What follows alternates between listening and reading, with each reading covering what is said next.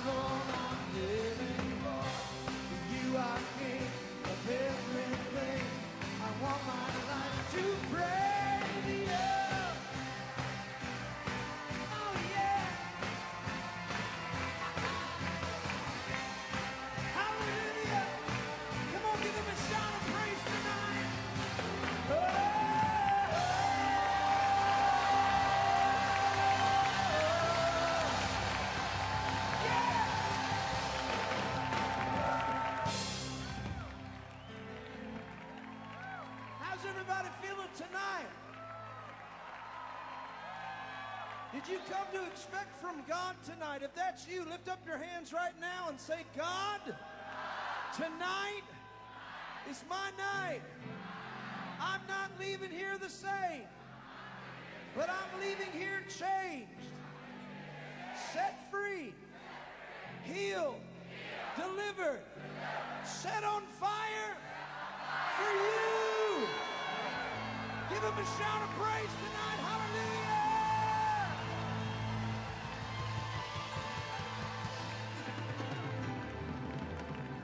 face outshines the brightest sun.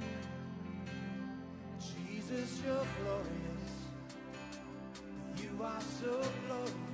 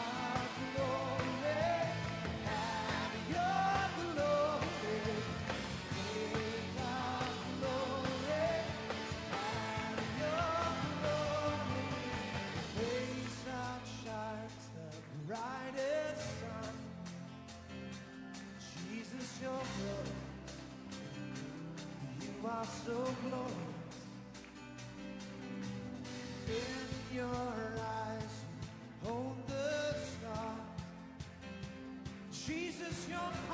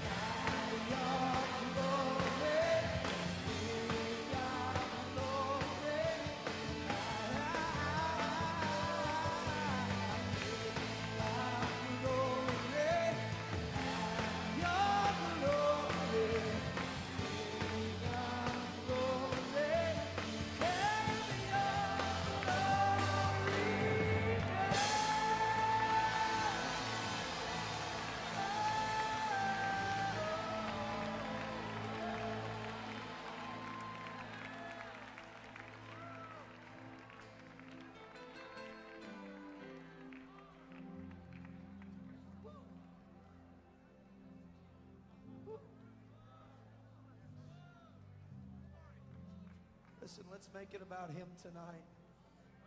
Come on, let's make it about Jesus Christ tonight. Not just from our lips, but from our heart. God, we say you deserve all the glory. We say you deserve all the honor, all the praise and adoration, Lord. We give it up to you right now. We make a choice tonight to worship you from the inside out. And Father, we've come to touch heaven tonight. We thank you for the moves that have taken place before this and even 101 days ago. But Lord, tonight's a brand new night. You said your mercies are new every morning. And God, we're crying out for fresh oil tonight. We're crying out for a fresh touch of the Holy Ghost tonight. We're still hungry. We're still desperate for you, Jesus. We just love you, Lord, tonight. Let it rain.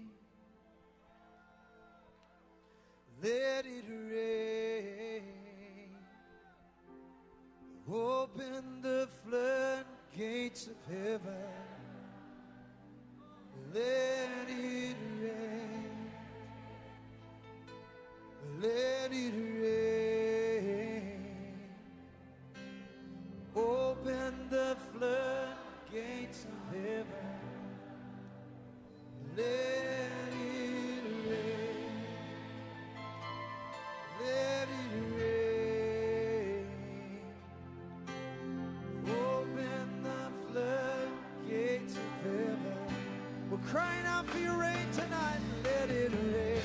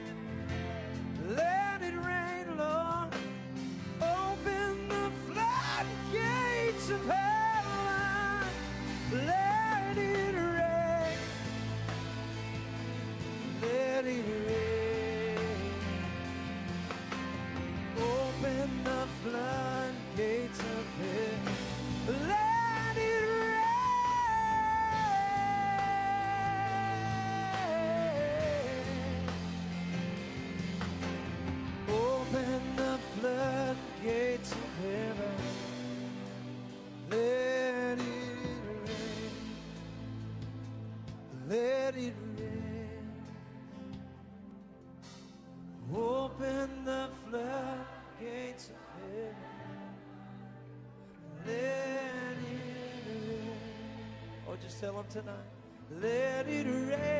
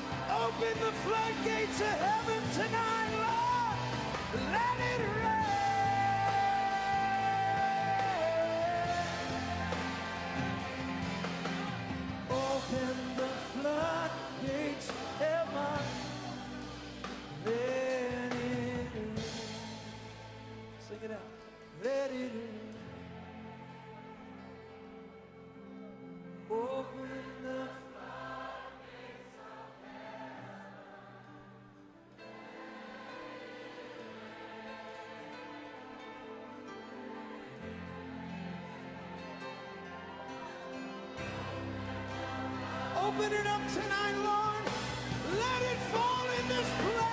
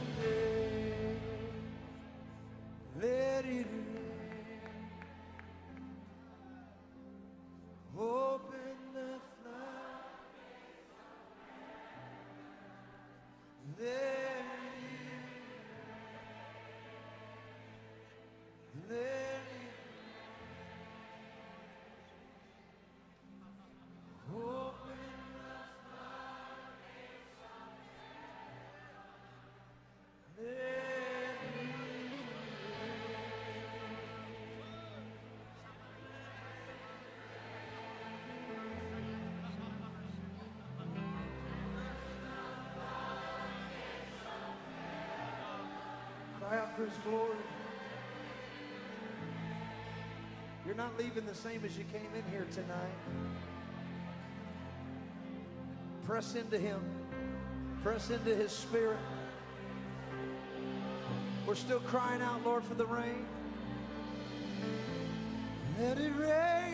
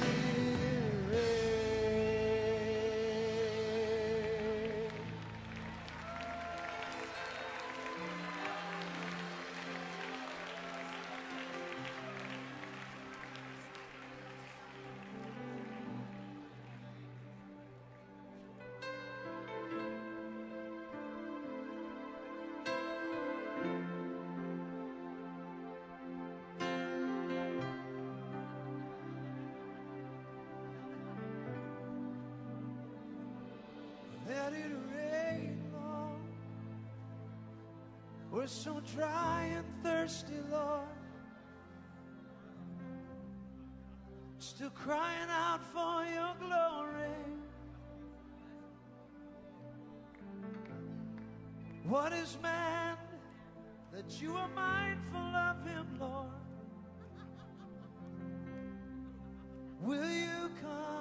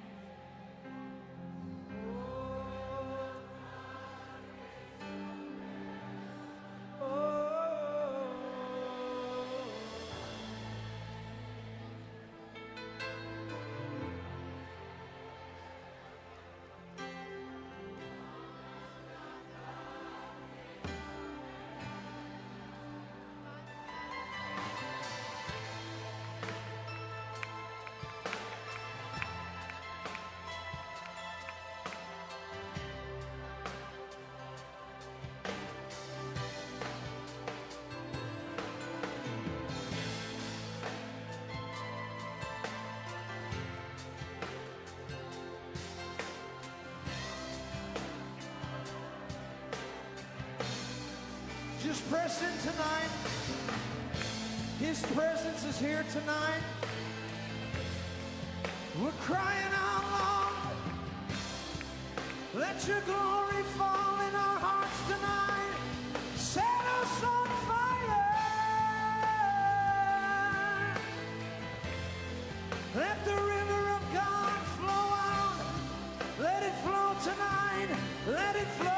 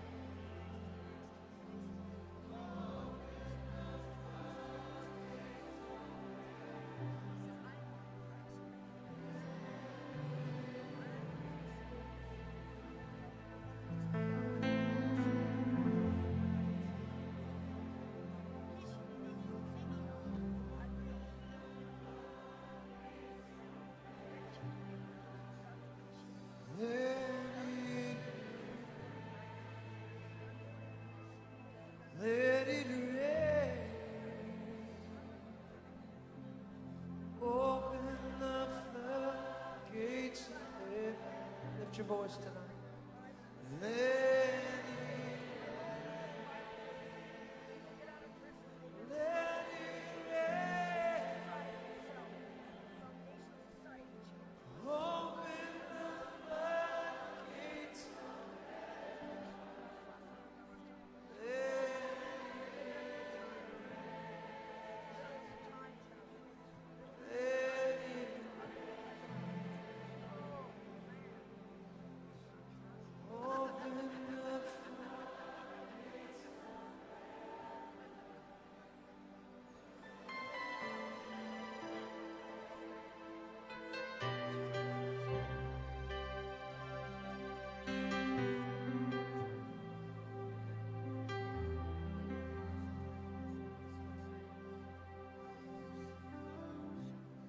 And I don't know how to see exactly how I feel. And I can begin to tell you what your love has meant.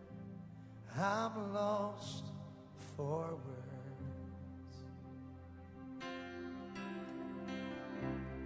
Is there a way show the passion in my heart? Can I express how truly great I think you are? My closest friend.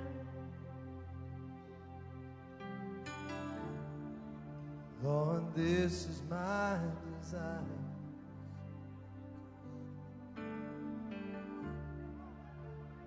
Pour my love on you like oil upon your feet, like wine for you to drink, like water from my heart. I pour my love on you. If praise is like perfume, I'll lavish mine on you till every drop is gone. I'll pour my love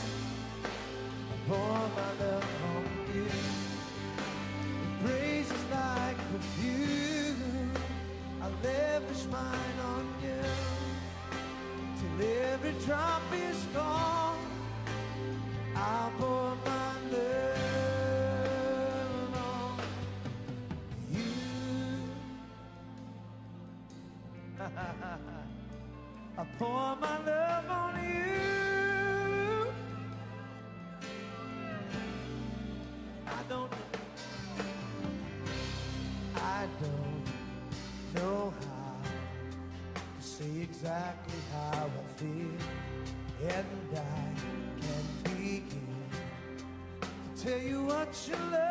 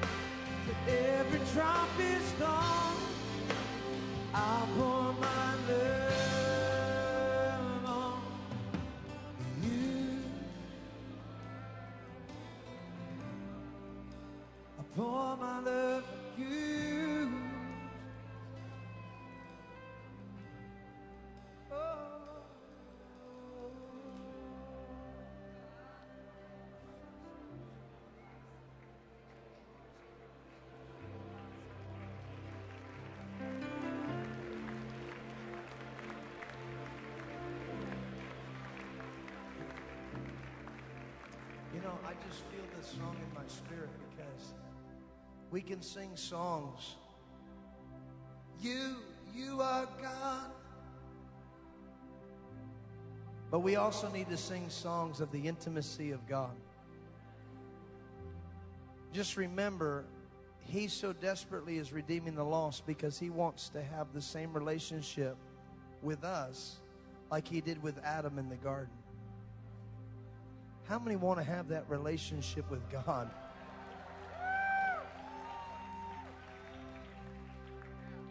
I want everybody in this place to close your eyes and I want to sing that song again. Let me just sing it over you. Because this is the cry of my heart.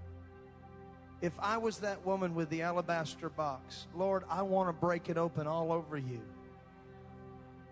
There's not enough perfume to cover you like I want to cover you, Lord.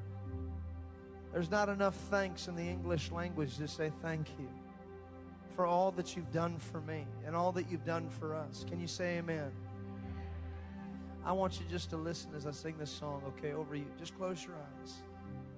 I don't know how to say exactly how I feel, and I can begin to tell you what your love has meant. I'm so lost for words. Is there a way?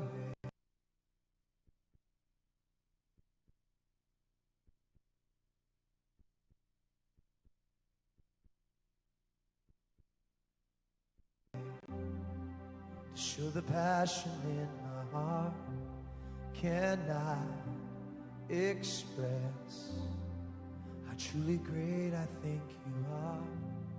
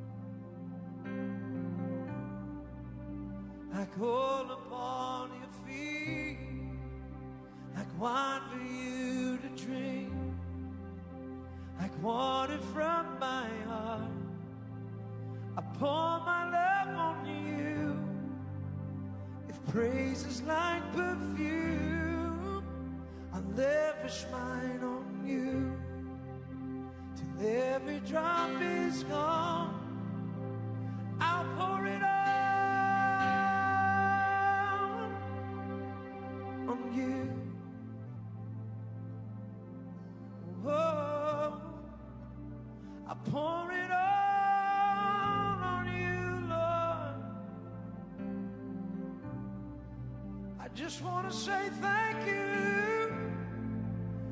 You've been so good to me. How can I complain, oh God? You've been so good to me. Oh, some of you need to cry out right now. Lord, forgive me for my complacency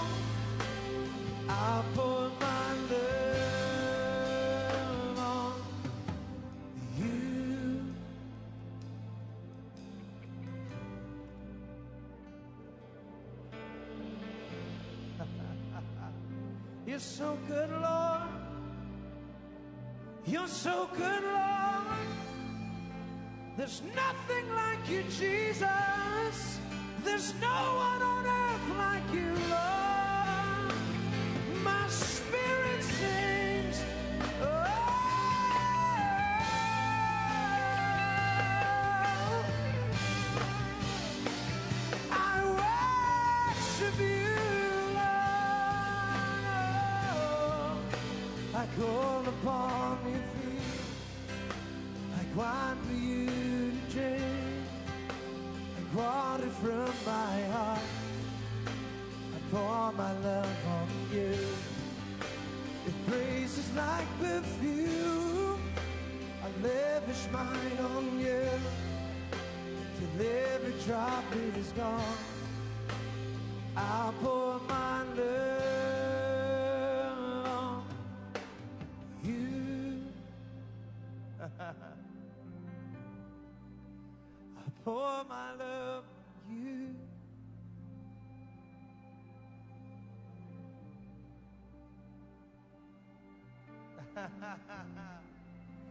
Love you, Jesus. I love you, Jesus. There's nobody like you, Lord. No one can hold a candle to you, Jesus. You are a God.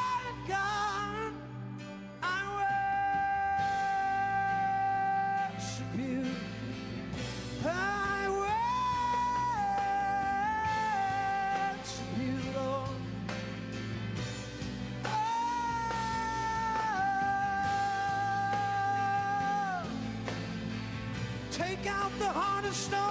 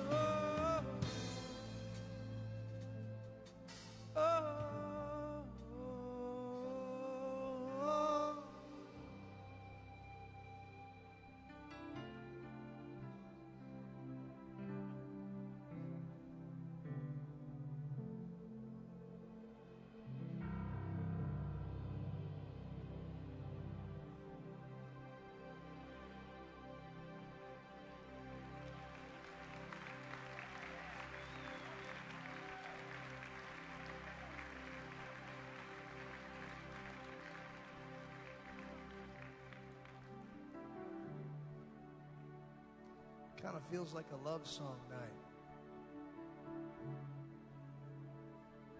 How many really truly love Jesus tonight?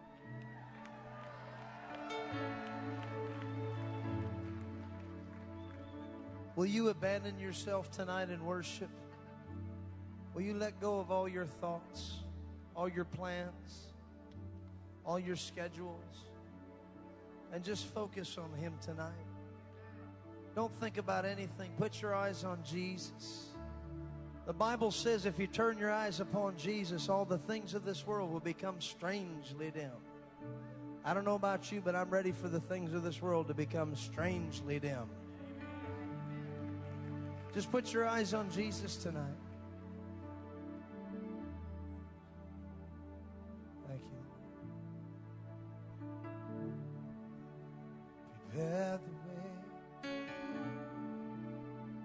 Prepare the way. Prepare the way of the Lord.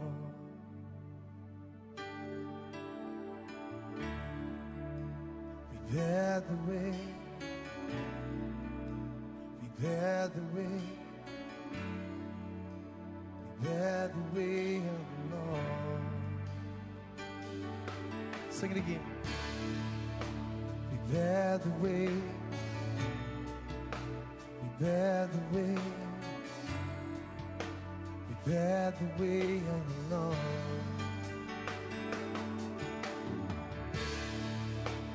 Bear the way, Bear the way.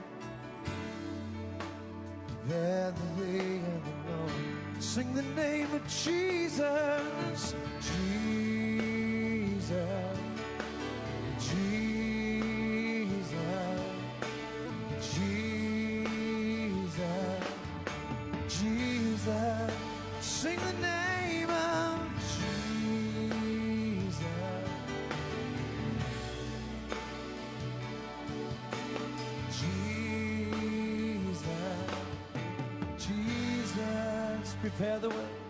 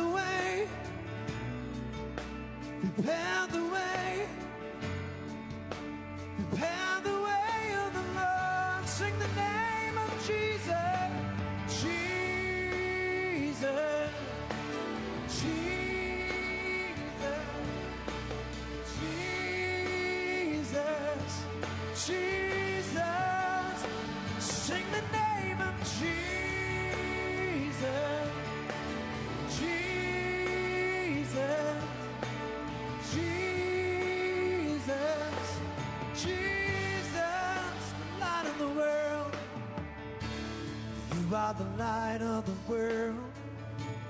You are the light of the world.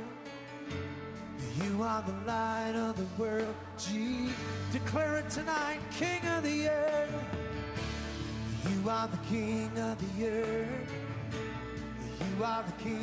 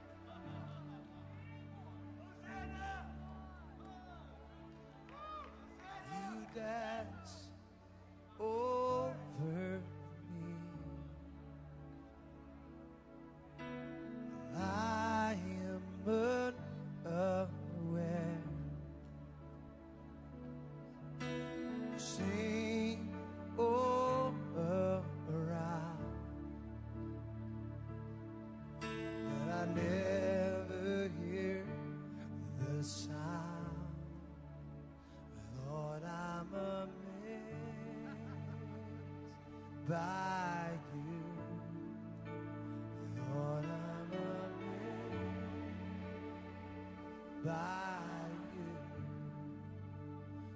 Lord, I'm amazed by you. How you love me. You dance over me.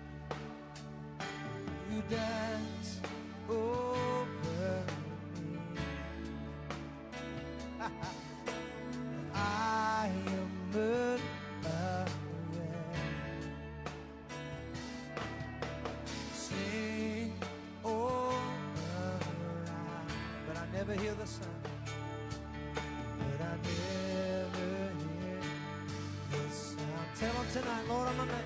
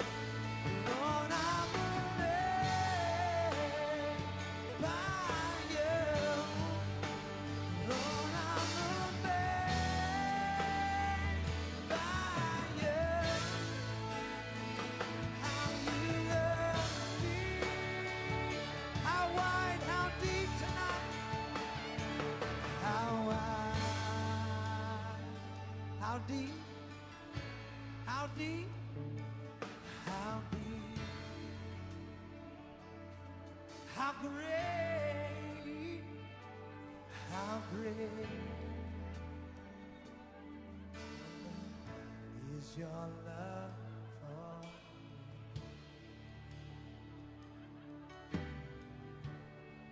How I, how I, oh tell me. How deep, how deep, how great. Your love, it's so amazing, Lord you.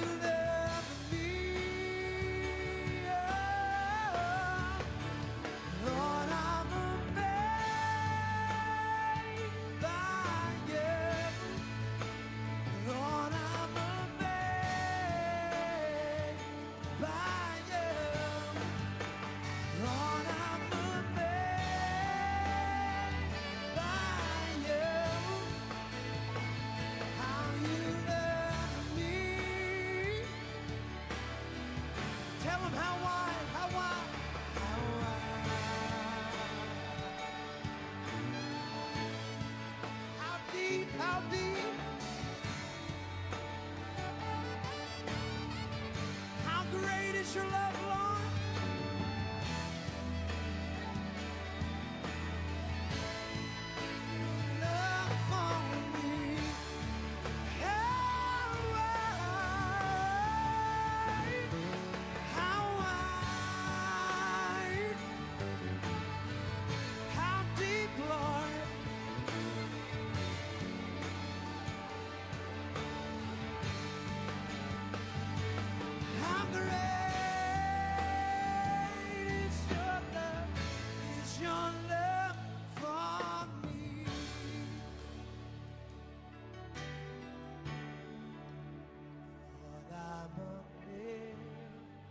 Sing it out.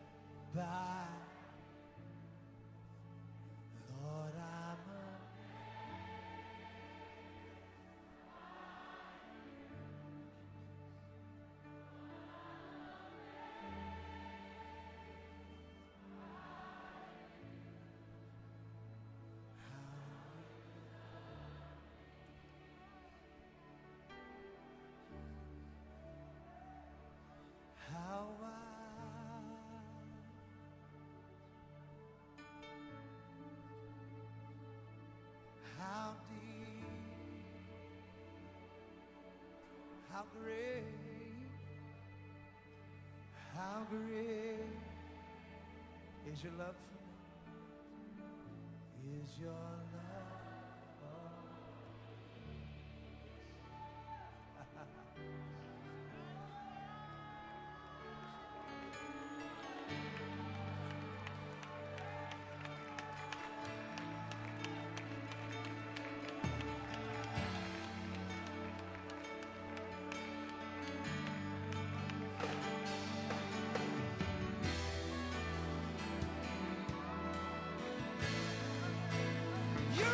amazing God, You're amazing Lord. We thank you, Jesus. Oh.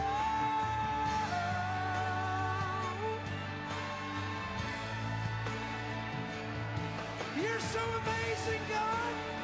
Oh, I love you, Jesus. Thank you for your son. Thank you, Lord.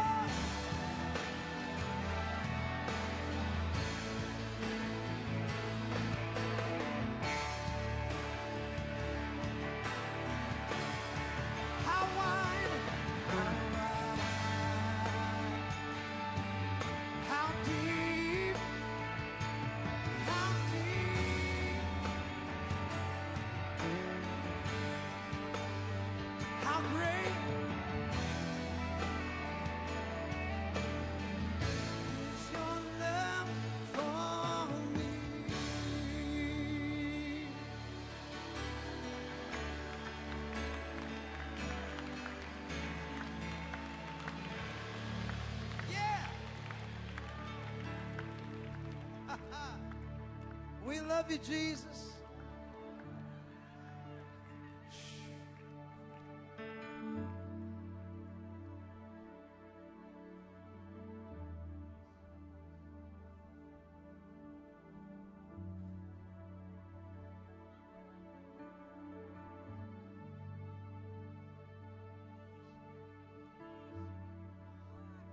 Just take them in tonight.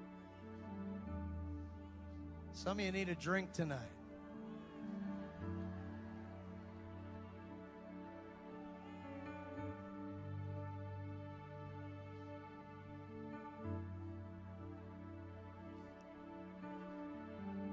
You used to live in the world.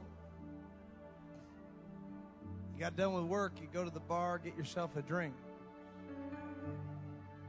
But you wake up the next morning with a hangover because you deserve a hangover after a hard day's work. But when you got saved, God changed everything. And He said, Come to my table, let me give you a drink. Because what I have, you won't thirst again. Just lift your hands right now and say, Lord, I want a drink. Then take it in right now. Fill them up, Lord. Take a drink. Come on, take a drink tonight. Oh, yeah. He's good tonight. Here it comes. Here it comes. Take a drink. Oh!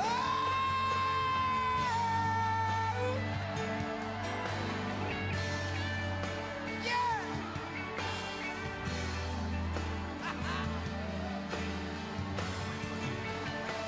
Take a drink, take it in, take it in, take it in, take it all in. Holy Ghost, send your fire tonight. Lift it up, lift up your voices and cry out, cry out.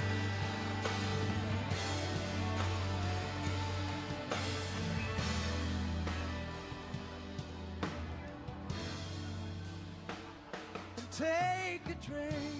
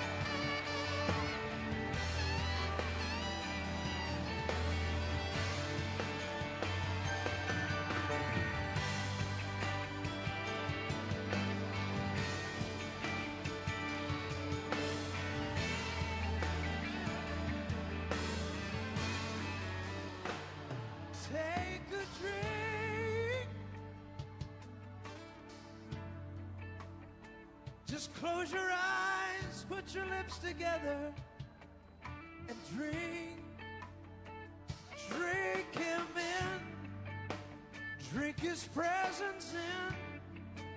Throw out your old wine tonight. Let in the new wine tonight. It's 2,000 years old. It's vintage wine tonight. A drink. Don't try to think. Take a drink. Take a drink. I want all of you got tonight.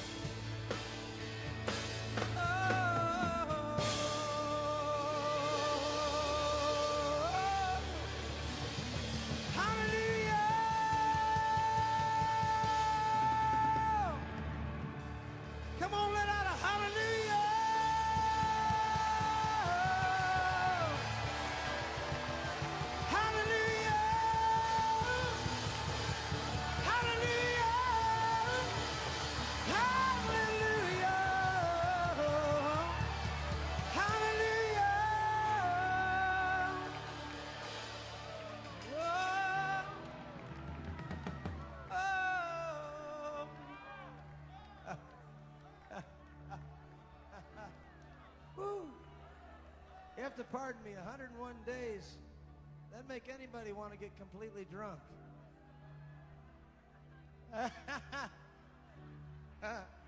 Woo! Oh.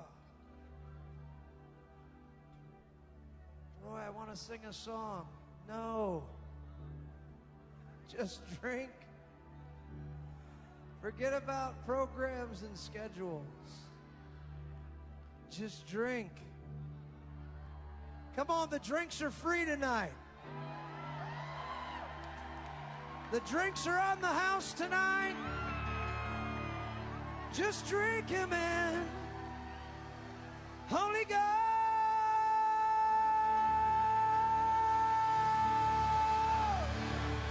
Holy Ghost.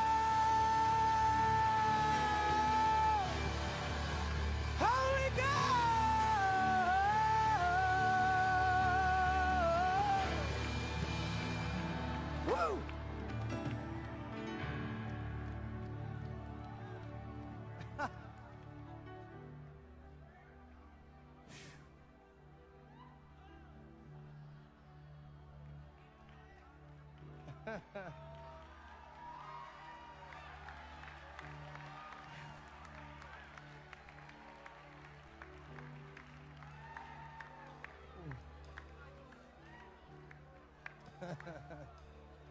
Oh.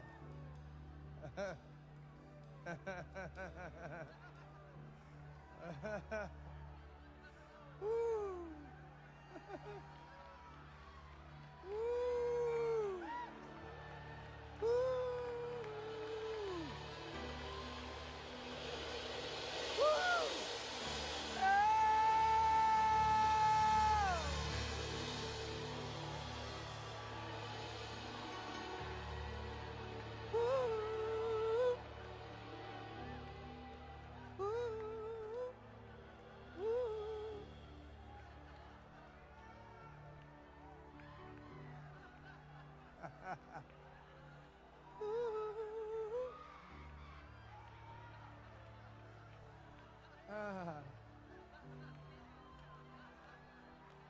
Some of you might say, Why are you acting like that? Because I don't care. I just want Jesus to come and touch me.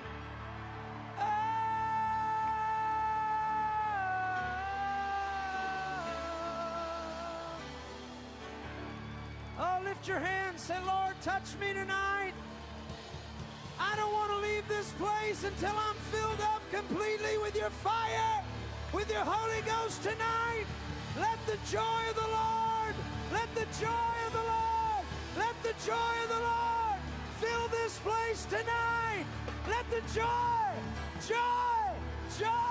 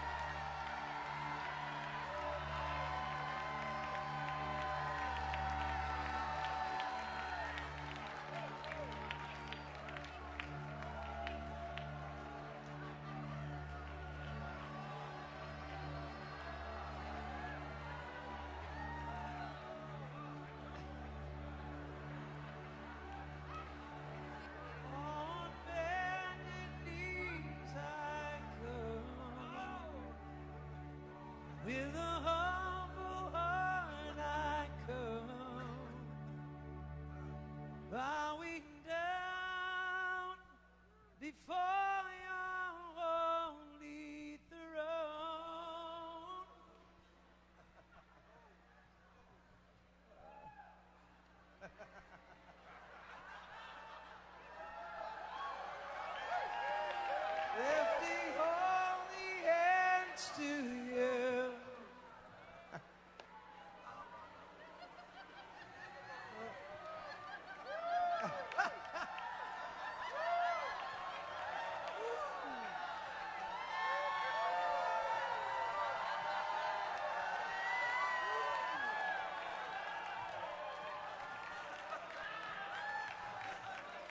Take out all of my religion. Take out all my tradition. Make my spirit.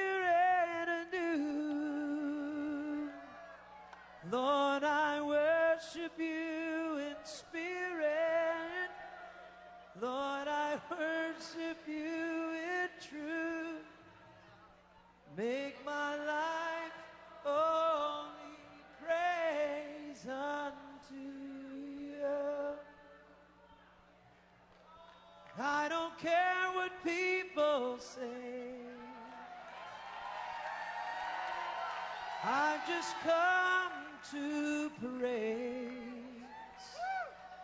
I've come to worship and adore my holy King. Bringing a sacrifice of praise. And from my heart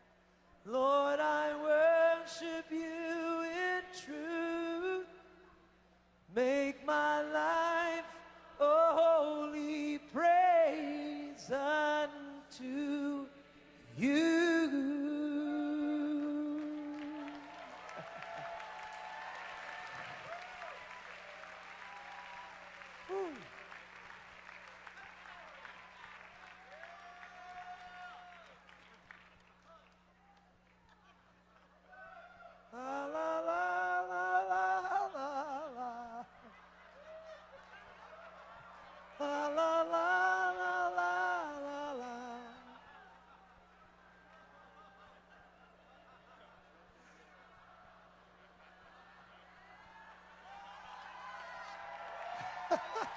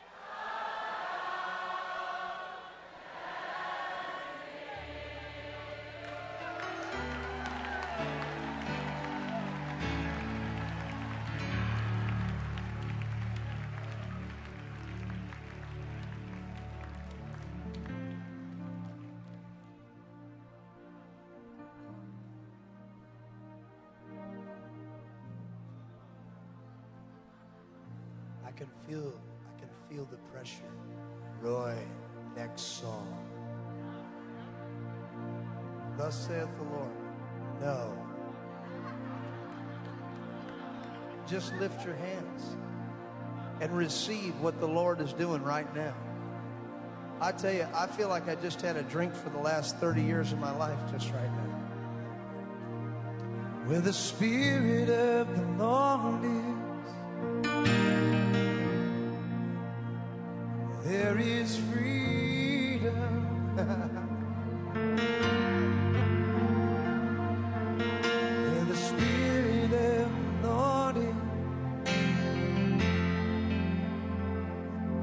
there is freedom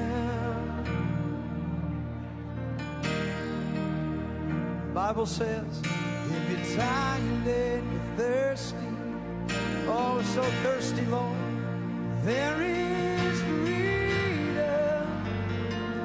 哈。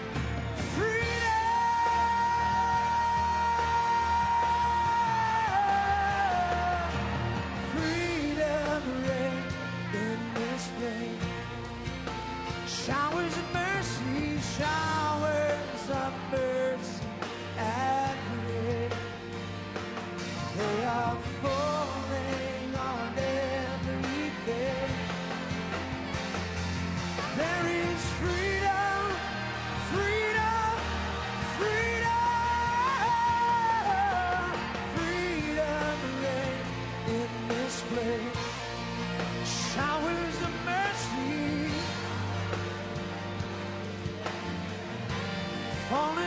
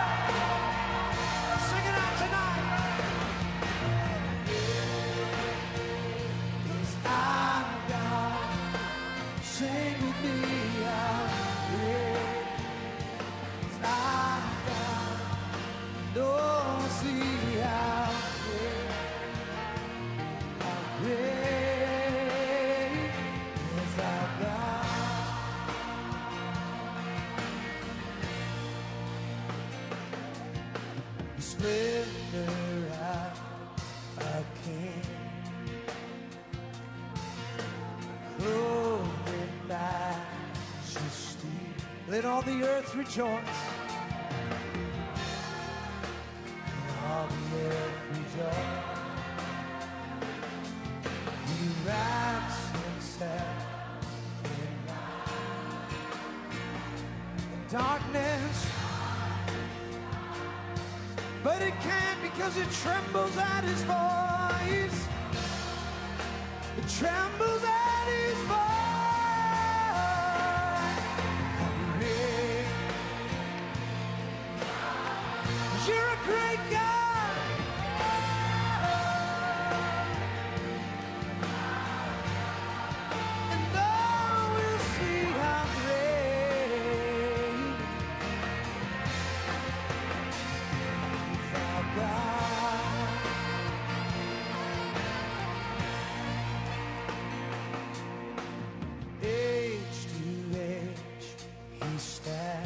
out. Time is in his hand.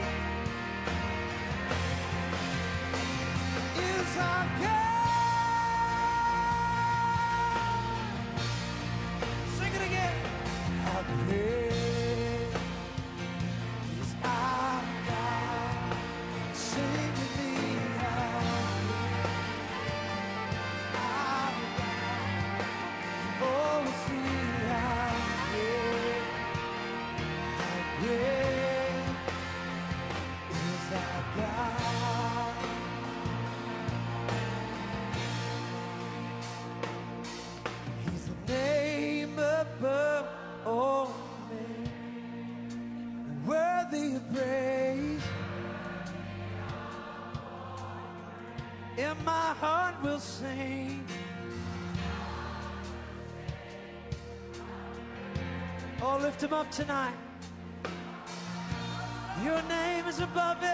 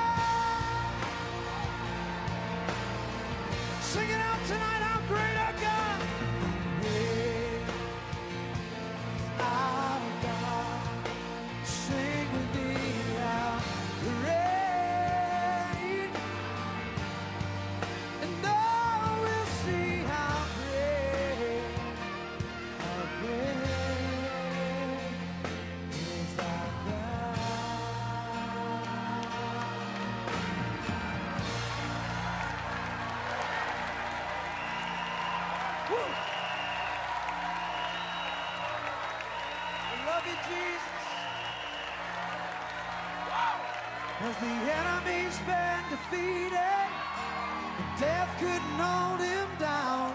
We're gonna lift our voice in victory, gonna make the praises loud. The enemy's bandit, come on, declare it tonight. Death could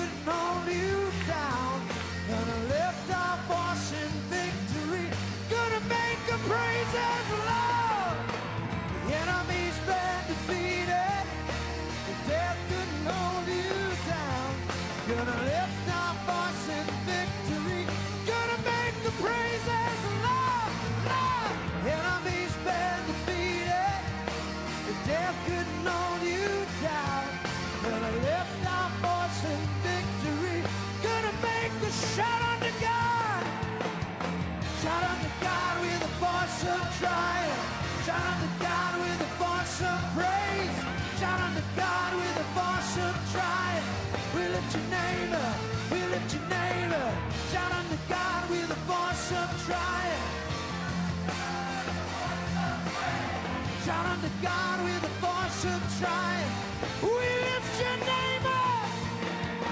Shout out to God.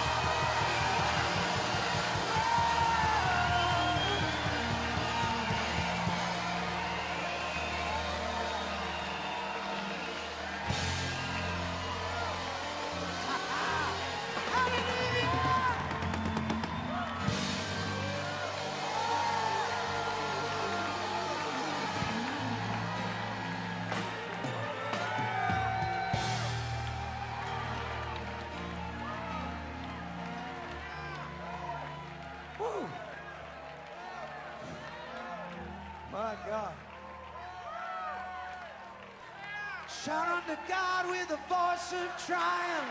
Shout unto God with a voice of praise. Shout unto God. We're lifting our name up to you, Lord. We're lifting your name up, Lord. Shout unto God with a voice of triumph. Shout unto God with a voice of praise. Shout unto God with a voice. We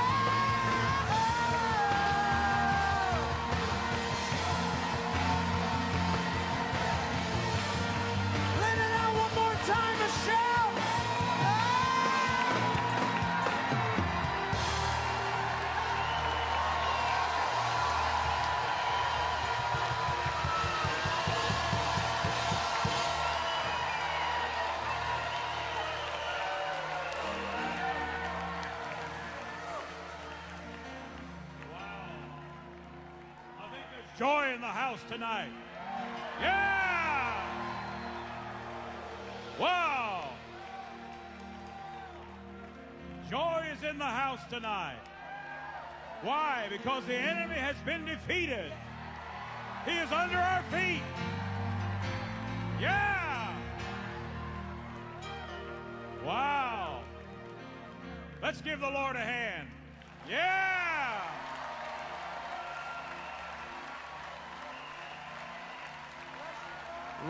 More time, we should just put him under our feet. One more time. Shout unto God with a voice of triumph.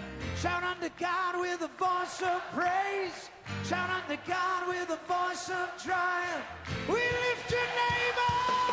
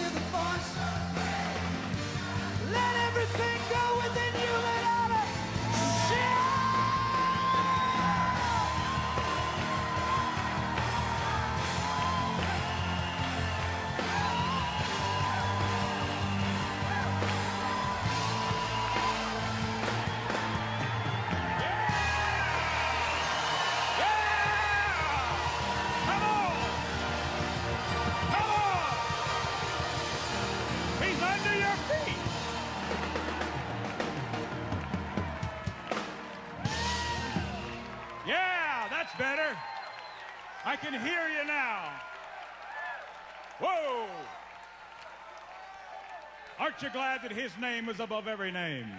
All right, yeah. Wow. Wow.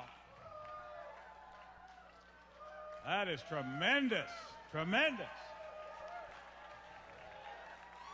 Boy, if that doesn't get your fire started, your wood's wet. Somebody say amen. Yeah. Whoa. Whoa.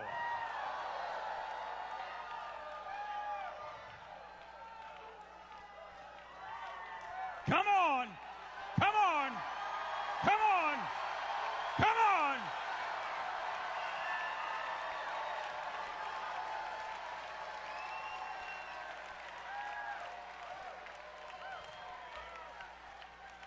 Man. Makes you feel so good you want to go out and let a dog bite you or something, you know it? Come on now. Praise the Lord. That's great. Well, welcome. Welcome, all of you that are watching on the web streams through God TV and, and Fresh Fire Ministries. My name is Eli Miller. I'm one of the senior leaders of Fresh Fire Ministry. We're glad you're here this evening. We know the Lord's here. We're glad you're here as well. Hallelujah! Wow. How many of you here for the first time tonight? Whoa, look at that. Where have you been? Are you glad you came so far? All right. All right. Well, we've got a few countries in the house, and I'd just like to, uh, I just like to acknowledge 31 countries in the house tonight. 31 countries. Poland is in the house tonight. Right there, Poland is in the house. Scotland is in the house tonight. All right, England is in the house tonight. Whoa! Now, I don't know about you Brits that are here. You, you guys are way noisier than I remember you being when I've been in England. Come on now. Guatemala's in the house tonight. All right, Guatemala, Switzerland, Switzerland, Malaysia. All right, Malaysia, Haiti. Then there's this country called Ca- Ca- Canada. Holland's in the house tonight. Nigeria. All right. Finland. Finland. Oh, where's Ukraine is in the house tonight. Where's Ukraine? There we go. All right. Taiwan. Thailand is in the house tonight. Puerto Rico is here tonight. Whoa! Wow, is there anybody left in Puerto Rico? Great show there. Spain is in the house tonight. All right. Wow. South Africa. Japan. The Isle of Man. Up there in the North Atlantic. All right. Israel. Whoa. Brazil.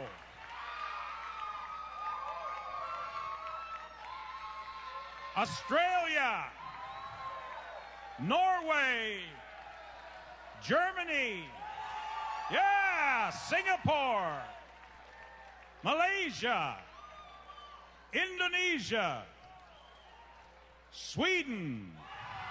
Whoa, yeah, okay. And then there's one here says, uh, it says USA.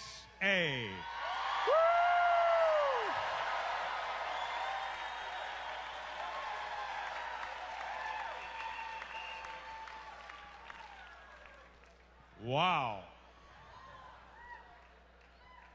That is tremendous. Wow. Well, if you'd make your way back to your seats, we're going to have a few testimonies in a couple of minutes that I know is going to really bless you. While you're making your way back to your seats, I want to just mention that we have an information line set up here for Fresh Fire that is open from 11 a.m. to 11 p.m. And I'll give you the number for that. It's a number for information regarding the revival. It's a number for just to hear what's going on and find out some local information as well. The number is 1 866 512 7077. I'll give that to you again. It's toll free 866 512 7077. Man, there's a spirit of liberty in the house tonight. There's a joy in the house tonight.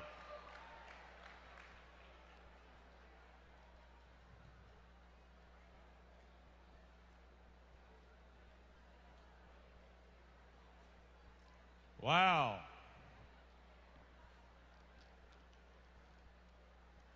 Well, we want to welcome everybody who is, has come in this evening, first time or whether you've been here for a while.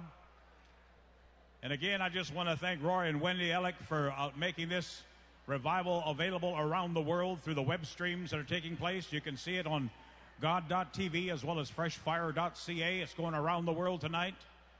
And we're so thankful for their partnership with Fresh Fire that's bringing this revival to the world.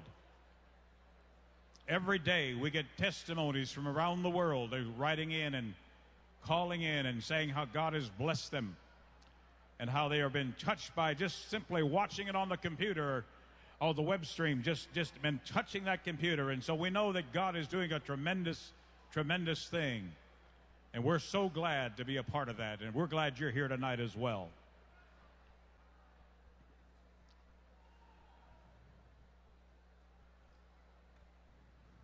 All right, what we're going to do is we're going to hear a couple of testimonies that I think will bless you. Are you ready to hear a couple of testimonies, what God has done? All right. What do we have happening here? Eli, this is Gay Hesse. She has struggled with uh, sciatic nerve damage for 25 years. 25 years. Last night she was here and the power of God hit her and all that she just suddenly she knew that everything uh, all the pain was gone. Suddenly she knew that she was healed. She began to move to check and certainly she was. What did you Amen. feel as you, as you believed that God was touching you? What was I, happening? did, I just knew I was healed. I knew God had touched me. God had touched you? Amen. The pain is gone? The pain is gone. Can you do anything today that you couldn't before this? Well, you can move around like this without any like this. pain? Not as much. Wow, that's wonderful. That's wonderful. God is Wh- good. Where are you from? Warroad, Minnesota. Warrow, Minnesota. Well, how, God is moving in, in Minnesota then, right? Amen. Amen. Father, we just ask you to finish that good thing that you've begun right now. Finish it, Lord. Finish it. Finish it. Finish it. Finish it. Finish it. Finish it. Finish it. There goes. Yes, thank you, Lord. Thank you, Lord. Thank you, Lord. Now, while we're getting ready to hear another testimony, I'm going to ask the ushers to pass out the offering envelopes because we're going to take an offering here in just a couple of moments.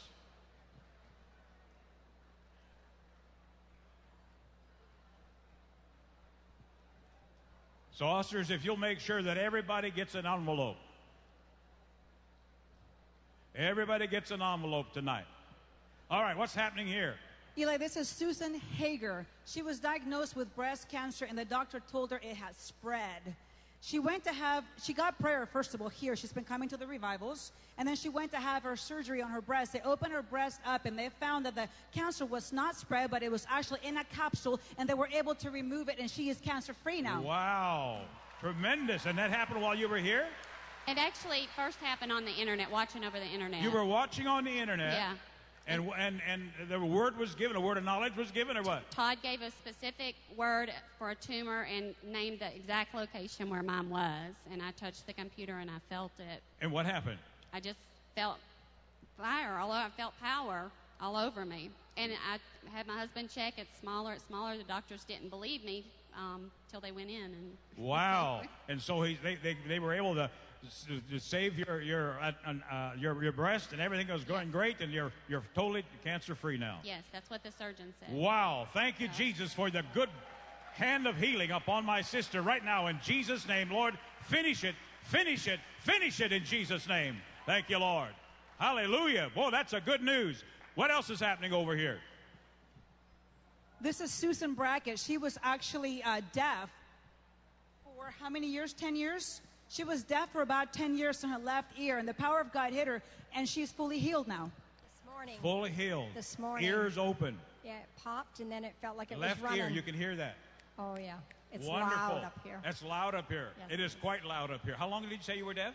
It, problems with it for the last ten years. The last 10 years. And in a moment, it just opened up and that was it. Yeah, this morning's meeting, Isn't God's good? he's awesome. He's in a good mood, too. Do you know that? Always, always. In Yeah, a good Yeah, he's in mood. a good awesome. mood. Father, thank you for my sister. Let your blessing come upon her. Let the healing continue in spirit, soul, and body. Yeah, there it goes. There it goes. Hallelujah. God's in the house. The healer is in the house. The deliverer is in the house. All right. I think we have one more testimony here. So let's let's get this other testimony up here. Let's see what God is doing here. Eli, this is Linda Chan with her husband. She was diagnosed with ovarian cancer, end stage cancer. She was in Mexico, bedridden in a hospital getting treatment. Her husband began to come to the meetings, and she was watching God TV, and he kept on coming, contending for her healing, contending for her healing. And one day, the power of God hit her. She's out of bed, out of the hospital. She's here, and she's healed. And we have the doctor's documentations that she is cancer free. Wow. Wow. Now, you were prayed for right here, or, or did you, Yes. Or, or was this over the internet or, or over the TV? The first time I, I was feeling the, the healing powers while I'm watching in the internet. The first time was while you were watching on the internet. Yeah. So those of you that are watching on the web streams right now, you don't have to be in Lakeland, Florida to be touched by the Lord. We've already had several testimonies of those who were touched by the Lord watching on the internet. And here's another proof. We got the documentation right here. That's wonderful. So you're, you're totally been got a clean bill of health. I don't have the time to look at all this, but you have a clean bill of health. Is, do you have a clean bill of health, like you're that you're cancer free? Uh, I would say 75%. Seventy-five percent. But I have other things happened. Okay. What else I- happened? Uh, my kidney was failure. Uh, 75% now functioning. Okay. My liver was enlarged. I have water in my lungs and abdominal. I have to drain like 2,000 cc every other week. Wow. So I was very fragile, very anemic. But uh, since we came here, uh, Todd prayed for me. I have a speeding uh, healing. Wow. So now I can walk. I So can, you you just had a kind of a regular overhaul, yes. and you can verify all this too. Is that right? Pretty much. As a matter of fact, she was part of the uh, broadcast on uh, Nightline ABC that actually ran, I think it was Thursday night. Interesting thing, I had a lengthy conversation with Carson Yu. He said in his report that they didn't have documentation. Carson Yu, you've got the same documentation in your hands. What this documentation does, though, is further than what most people that are coming here. Because of our bills and whatnot, we had to certify through doctors that she was terminal. Okay. We not only have diagnosis here, we have certification with doctors' reputations on the line that she was terminal. We have that. The insurance is paid out because of that. We then Wow. follow up at the end. We have now gone back this last time. I believe Stephen Strader gave a testimony a couple days ago. We actually had the, the final reports. We have the the MRIs, we have the ultrasounds that prove that indeed that cancer is now regressing. Wow, wow. So we've got the they got the MRIs, we've got the we, we've got the documentation that say that started through watching on God TV through the internet. That Healing began, and now you came, and now they're, you're, there's 75% remission, That- and the other things are are, are, are dissipating as well. else, that was the interesting thing. When Todd and Denny Klein paid for her the first time, supernaturally her kidneys that had failed, they were now functioning. She also got, it wasn't something we were even praying for, but she got an eardrum that was actually missing. Whoa! An eardrum that was missing, and it just came, uh, appeared. Pop, and there it Pop! was. There it was. There it was. That was back when Todd prayed for her the, the first night we went into the stadium, over Dodger Stadium. Okay. I went on stage, he prayed for her there, and while that happened, that manifest. Wow. But on but but folks, now here's here's the interesting thing. Me as a husband, I've literally come to Lakeland by myself. My wife is still on life support in Mexico. She can't get on a plane. She can't get out of a hospital bed. She gets prayed over. I have no contact. I go back to there in Mexico. She's still not healed. Totally. We have had some miracles, but we're not all the way there. All right. But in the progress, she starts getting better to the point to where I could bring her here. Wow. I brought her here back in day 48 through 50. Todd prayed over, your team prayed over. I mean, it was wild, but we still had that ticking time bomb down there that wasn't there. We went back, we spent another week in the hospital, but by that time, she's no longer on any medication whatsoever, none. Wow, let's give the Lord a hand. The healer is in the house. Wow. Doctor said, Why don't you go home? You've been here for two months on this occasion. We've been a, a total of a six months process, but in this, this particular instance, after having been prayed over, she's been there for another two months. We take her home. We're there for about a month. Every day, she's getting stronger and stronger. This is a lady that was on life support bedridden. Wow. She's now up to walking four miles a day. Four miles a day? But now here's the best part. We go back last week back to Mexico. Let's have a checkup. Let's find out. Let's get medical verification of what's going on. We don't know. The first thing we get when we first got down here, when we first go into the hospital, they do a complete blood count. For the first time in this entire process, and that's in here, she has got a clean bill of health with her blood count. Whoa! Clean bill of health. But then the next day, then we start the actual process of going into the organs. We start with the ultrasounds. Doctor comes in. In the beginning, it's just the two of us and the doctor. Down there, they don't have techs like they do in the States. They have doctors that actually Yep. run the ultrasounds. He goes into the, the lungs first that have been producing two to three liters of fluid every other week. And he goes, Two or three liters every, other week. other week. She had so many. Oh, that was another little miracle as a side note. She had so many puncture wounds where we were draining this fluid off of her. she had puncture wounds that were massive scars. When we went back after the second time, those, those her uh, massage therapist is part of the thing. My God, the scars are all gone. The scars are gone? Totally gone. Totally gone? Totally gone. Wow. Back, back to the ultrasound. Okay. He's going through the organs. The lungs that had 12 lesions in them, totally gone. They're clear. Clear. Go down to the liver. The United States doctors have said she needed a liver transplant with three, three uh, cancerous lesions in her liver. They're now clear. We then go down, and now we've got proof. Wow. Into, into the kidneys, both kidneys, they are. Now he said, last time I checked these these kidneys, lady, you and I both know my fellow oncologists are going to say I misdiagnosed you. You're sick. I was here. I took the results. I knew you were sick. And now what was a piece of meat is now a functioning kidney. Whoa! All right, let's give the Lord a hand. Father, thank you for that what you're doing. Lord, complete that which you've begun. Complete it, Lord. Complete it, Lord. I'm glad. I bet you're glad to have your wife back. Father, thank you for this one. Complete it, Lord, in them and, and fill them completely. Bring full restoration in Jesus' name. Full restoration. There it comes. Full restoration. Thank you, Lord. Let's give the Lord another hand. Wow.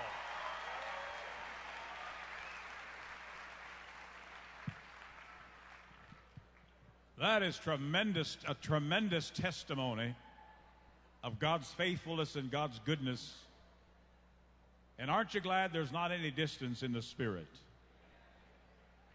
That even out there watching on the computer, on the web streams, God can still touch you. Why? Because the Word tells us that He sends His Word to heal them. He sends His Word to heal them. I'd like to tell you a little bit of a story. Back over in First Chronicles chapter 21, King David had been tricked by the enemy to number Israel, and so that he would in some way have some kind of confidence in the numbers that he actually had, that he could amass in armies against the Philistines, Amalekites, and the various other enemies of the land. And when he did that, the Lord was not real pleased with that, and so he actually allowed an angel to come and begin to smite Jerusalem with a plague. And as he was smiting Jerusalem as a, with a plague, the Lord looked at what was happening, and it says he relented of the word that he had commissioned the angel with, and he sent a prophet to David, and he told him what was happening. Actually, David lifted up his eyes, and he saw the angel standing over Jerusalem. And so the angel, when he saw the angel, of course, he was quite taken aback, and the prophet told him that he, and David actually, he asked, he said, let the, let the plague be on my house, let the judgment come to my house, because I'm the one who has really brought this upon the land. And so he said, I, I want to go up and I want to, I want to get some property to build a temple for the Lord. Because the plague had been stayed.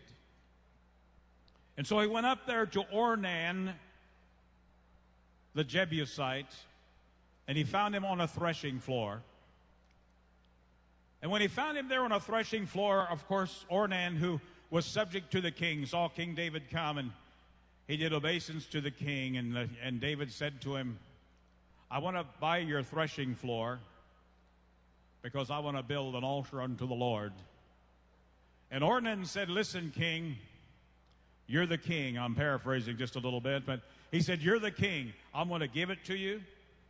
Not only that, I'm going to give you the, the threshing instruments. I'm going to even give you the oxen that are here so you can make a sacrifice to the Lord. And here was David's response. You can check me out there in 1 Chronicles 21. He said, I will not take that which has cost me nothing and offer it to the Lord. A little bit of a paraphrase at the expense of someone else. I don't know what your plague might be tonight. We just heard four testimonies where they had various plagues of those who came up here. But God touched them. And there's a principle that's here that many times we like to take something for granted. We take it to ourselves. We want something that doesn't cost us anything. But David said, I am not going to take for nothing, I'm not going to take for granted that which cost me nothing to offer or pro- uh, to produce an altar to the Lord. And so I'd like to challenge you tonight. You might have a plague in your house. It might not be death, it might not be cancer, It might be any other malady or any other shortcoming. What are you willing to sow into seeing the plague stopped in your house? I've often said over the years that the water of life is free, but the plumbing to get it to you costs money. And so there's a lot of plumbing around us here tonight. And so I'd like for you to really be generous tonight on behalf of Fresh Fire Ministries and also out there if you're watching by the web streams, you can if you're watching on God TV, there's a place on the on the on the website there you can you can click on the donate now. I'd really like to encourage you to do that just as an act of appreciation for God TV making this available to you around the world. If you're watching on Fresh Fire Ministries, there's a blue button up on the upper right hand side of the, of the uh, website. Click on that. It says to donate now. Donate now. Show your appreciation for what God has done. Show your thanksgiving for hearing these kind of testimonies that we're here tonight. And so I want to. I, I want you to. I'm going to ask you on behalf of Fresh Fire Ministries to dig deep tonight, because we have a lot of expenses and and I know you want to be a help. And it's not that you're buying anything as far as anointing is concerned, but you're sowing into something that I believe will help to stay the plague in your house, regardless what that plague might be. So I'd just like for you to hold up your offering. If you're getting ready to give, give your offering, let's, off, let's just ask the Lord's blessing over it. Hold it up high. You know, the scripture tells us in Deuteronomy what we're supposed to say when we give our offering to the Lord. It goes something like this. I'm going to paraphrase it a little bit. What it says is this I was a bondman in Egypt I was there by, with, for many years in, in, in bondage. And what I hold before you tonight, Lord, what I bring to you tonight is evidence and a token of your release and of your blessing and of your good favor in my life. And so, Lord, we ask you right now for those who are reached into their pockets, into their purses, into their credit cards, Lord, and are willing to sow into that which you're doing. Father, bless both the gift and the giver that in faith we speak that whatever plague might be in our house, that that plague might be stayed because, Lord, we do not want to be guilty of expecting somebody else to pay for what you're doing for us. Lord, we want to be responsible and do what you commission us to do. Don't do any more than what the Holy Spirit's asking you to do, but I do challenge you to be obedient to all that he says. So, ushers, if you go and take the offerings, I want to thank you tonight on behalf of Fresh Fire Ministries, behalf of God TV, for sowing generously into what God is doing here in this hour. Wow. This revival, this, this word, and it's just, as I said, this is going around the world. It's going around the world through media. It's been a media revival. That's probably how many of you realize what was happening here. It's through a media revival that brought you here. And so I'm glad to be here. I'm glad you're here tonight. Now, how many of you really enjoyed the worship that we just had with Roy Fields? All right. Now, didn't you, perhaps if you weren't here last week, you might not realize that not only is Roy a great worship leader, he's also a pretty fair preacher.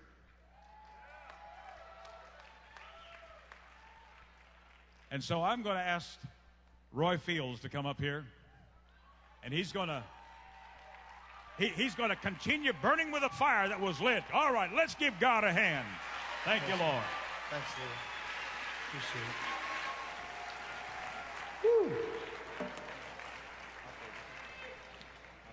Well, hallelujah. How's everybody doing tonight?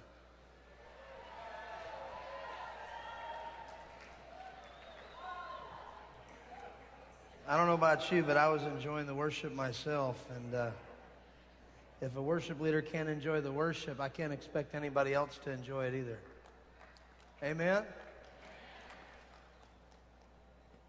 I am so glad to be back here again. I preached last weekend, and a lot of people had said to me, Roy, are you going to preach or are you going to tell jokes? I'm going to preach. But it's going to be funny.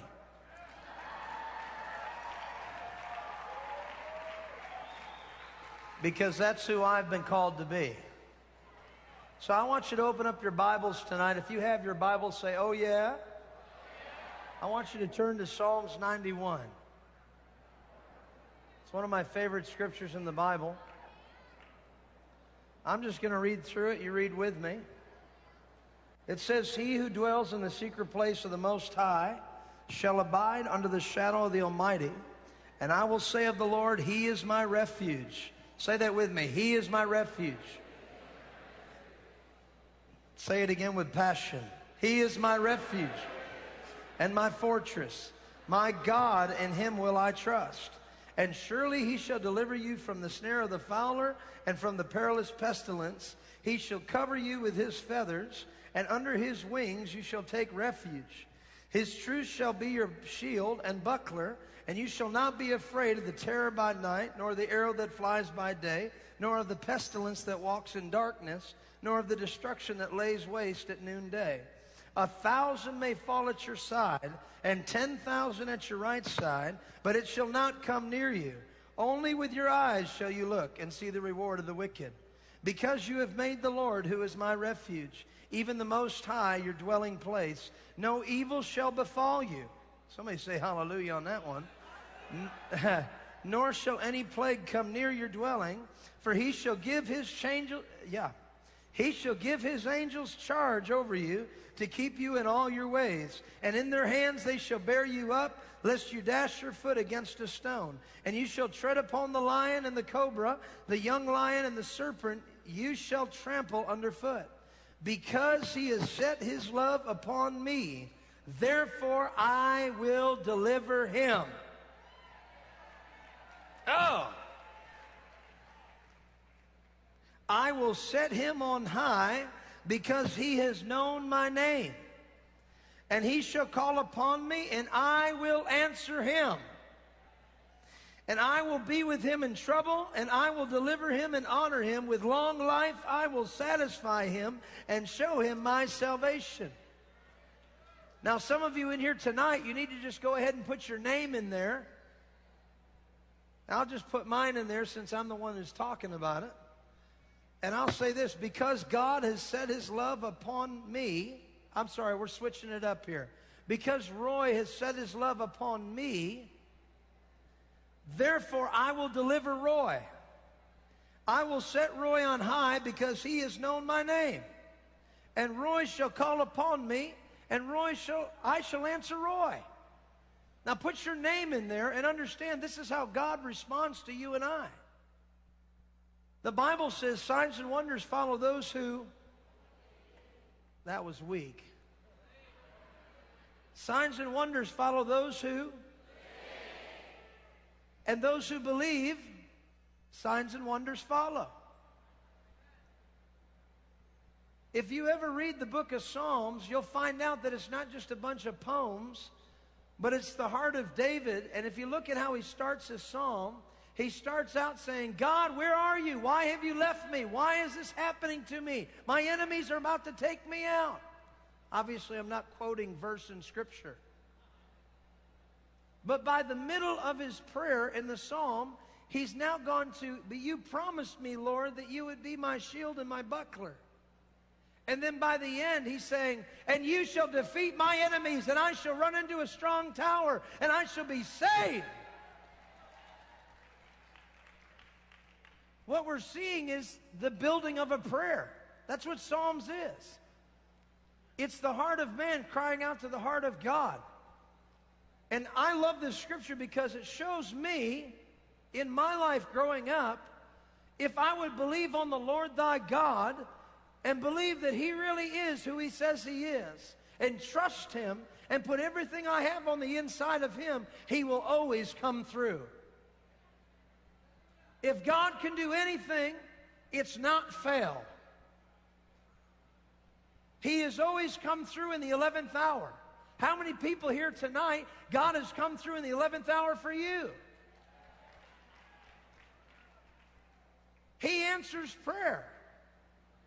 People have ridiculed and persecuted this revival and said, oh, they're crying out too loud and they're shouting and they're. What do you think gets God's attention?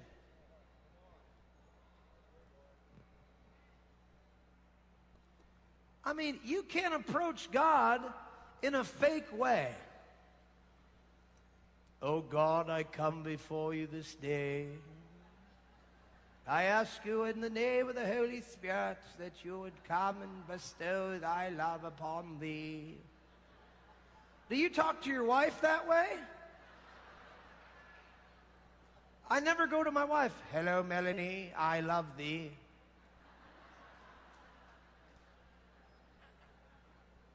You are beautiful, let me count the ways. God wants to hear from you where you're really at. And if you, if you approach him in that way, I can guarantee you he's probably not going to respond to you because your mouth is moving, but your heart is not. And we can have revival and people can get healed, but when you go back to your homes and you go back to your countries and you go back to your states and you go back to your cities, what has really changed on the inside of you should be your heart. The healing should be an after effect of what took place in the heart.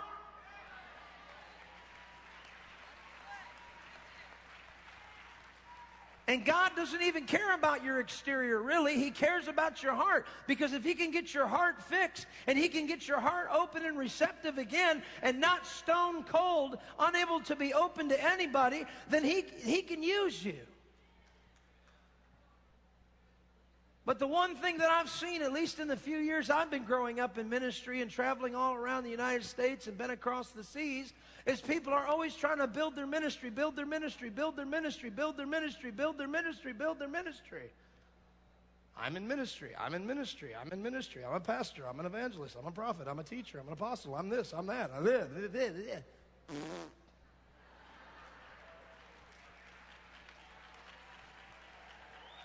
You're a sinner saved by grace.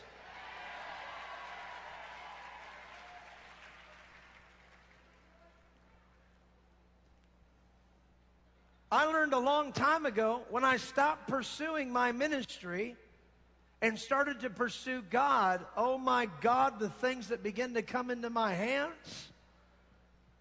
The Bible says, Seek ye first the kingdom of heaven and all of his righteousness, and all these things shall be added unto you. But what happens a lot of times, and I know it's happened here, people come and say, Let me just get this anointing so I can go back to my church and then I'll build it and I'll have growth and everything. And yet, the whole reason you're not having growth is because you, your heart, needs to be changed. Even as a pastor, even as a Christian, even as an evangelist, even as a prophet, a heart has constantly got to be checked. A heart has constantly got to be evaluated. Because God's all about the heart. He's not about the exterior. The exterior is what you're making it out to be. You say, now get to the point. What are you trying to say? It's about the heart. What do you mean? It's about the heart. Jesus never came to the earth to change everybody's exterior. He came to change the hearts. That's why he turned to the Pharisees. He said, You wicked and perverse generation, you brood of vipers. I was talking today with my stepfather about how it's interesting how everybody grows up as a child and we're all pure. And we have a zeal and we're on fire. And then as we get older, things begin to slow down. It's not just age, it has to be with the matters of the heart. The issues of the heart are what drives a man and what drives a woman. Think about it. When you first got saved, you would not shut up.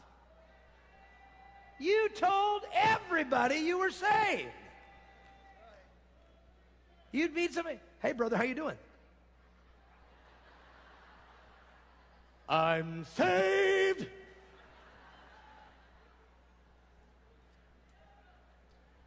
Somebody come up to you, I have a headache. Jesus.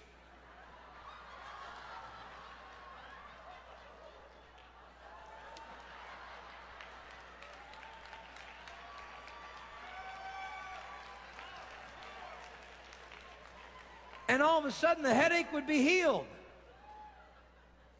You get inside your car as a new Christian, it wouldn't start for work. You'd, you'd just be like, in the name of Jesus, I bind it.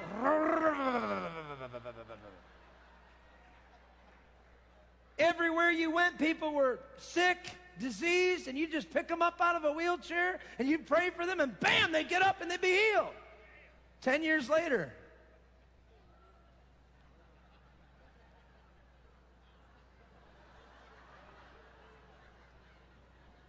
I'm free, and I know it.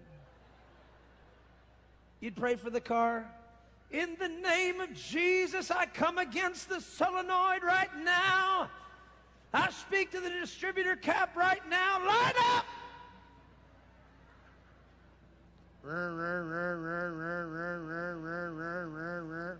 Nobody's looking. You're like,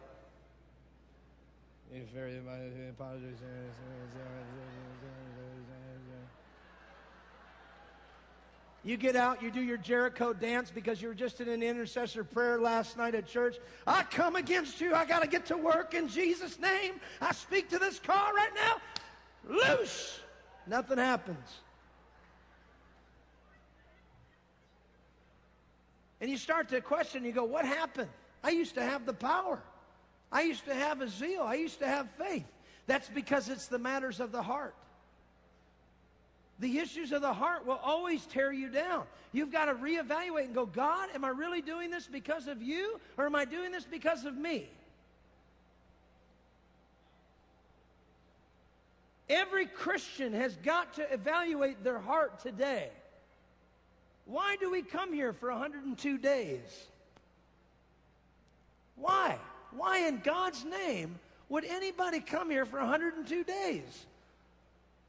To a tent two football fields long. It's because God touched your heart. That's why you're here.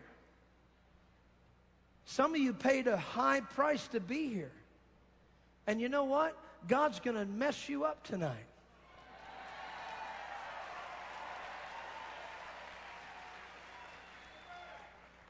Some of you have traveled far distances and this is your last resort. And you know what? God digs that about you. He digs it about you. When I was 21 years old, I was standing up in my apartment up in New York State, upstate New York, Vestal, New York. About 9:30 p.m. at night, I had had it. I'd been in the church. Let me back up. Let's go when I was 18 years old. Let's back up again. Let's move to 16. Why don't we just tell my whole life story? I'll back up to 16. When I was 16, I had a prophecy over me. How many have had a prophecy over you? Unfortunately, I get a lot of the prophets that's kind of like, you know, I was such a rebel child, so it was like one of these. Uh, Thus saith the Lord, for there's coming perilous times in your life that even I, the Lord thy God, would be afraid. Whoa. But fear not, I shall lead you out of the darkness of Egypt, just as Abraham led the Israelites.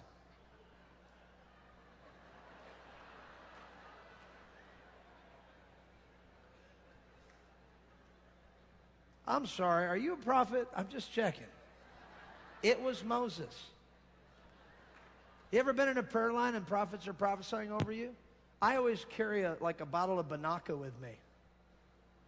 Because they're like, hallelujah. Of course, I'm going to fall out. Their breath is knocking me over. So I'm always like, lift your hands. Okay, I'll lift my hands. Hold on a second. Before you say anything, open your mouth. Okay, whatever you want to say. Yes, Lord, I receive. Mm. Thank you, Lord. Yes, yes. More Binaca. All right. Yes, Lord.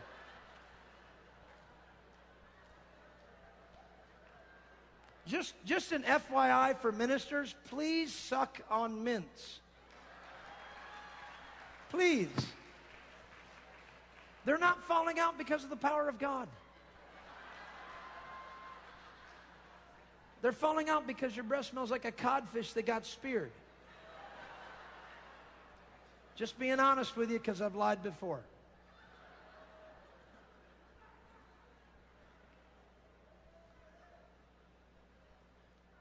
I think church is the funniest place on earth. There's more material with right here within the confines of church than anything else on the earth. I mean, some people, I'll just be honest with you, I've met some people and I'm thinking, I want to get to know Jesus, but is it going to be through this guy? Anybody felt that way? Am I the only one? Let, let me try this church over here. Have you ever felt that way? And you know what Jesus says? Love them anyway. A person that can't forgive forgot what they themselves have been forgiven of.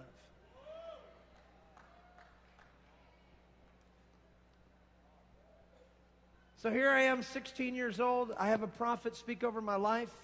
He says, Thus saith the Lord, I will use you mightily in Africa. It will be for my glory and my glory alone to show you that I'm not a respecter of persons. And you've always been called a black sheep among your family. And of course, I'm thinking I'm an only child. But anyway, come on, tell me you don't think like that when you have a word like that. There's somebody in your life and they're either male or female. Does that minister to you?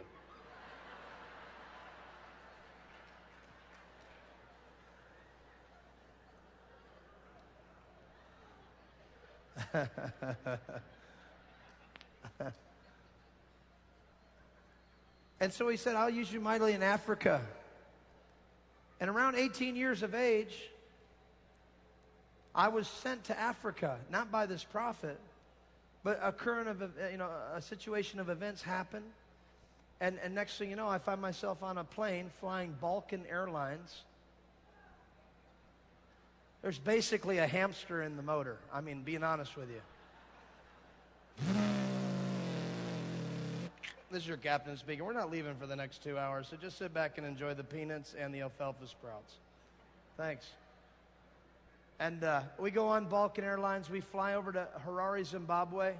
Now, I'm a young guy. All I have with me are two books Smith Wigglesworth book, Hallelujah, and the Bible, Hallelujah. I know nothing of the Spirit. I have not done the 48 ways of the 150 reasons of how to get 17 healings into one day. In the original Greek, translated in the original Hebrew. All I have is these two books, but I have a prophecy that was spoke over me, and I cried out to God, I want to know you more and more, and I want you to use me. How many people want to be used in this place tonight? And so we landed in Harare, Zimbabwe, and of course, as a young guy going to Africa, I'm thinking I'm going to have meetings like Reinhard Bonnke. Hallelujah! Thank you, Jesus. The guy's intense. And I get there, and we went to several huts and several villages and everything. We preached and ministered to groups of about 30 people, which was awesome. And we got down to the last two months of my trip. And about the last week, I was approached by a minister of the gospel, and I don't drop names, Ephil Mukamori.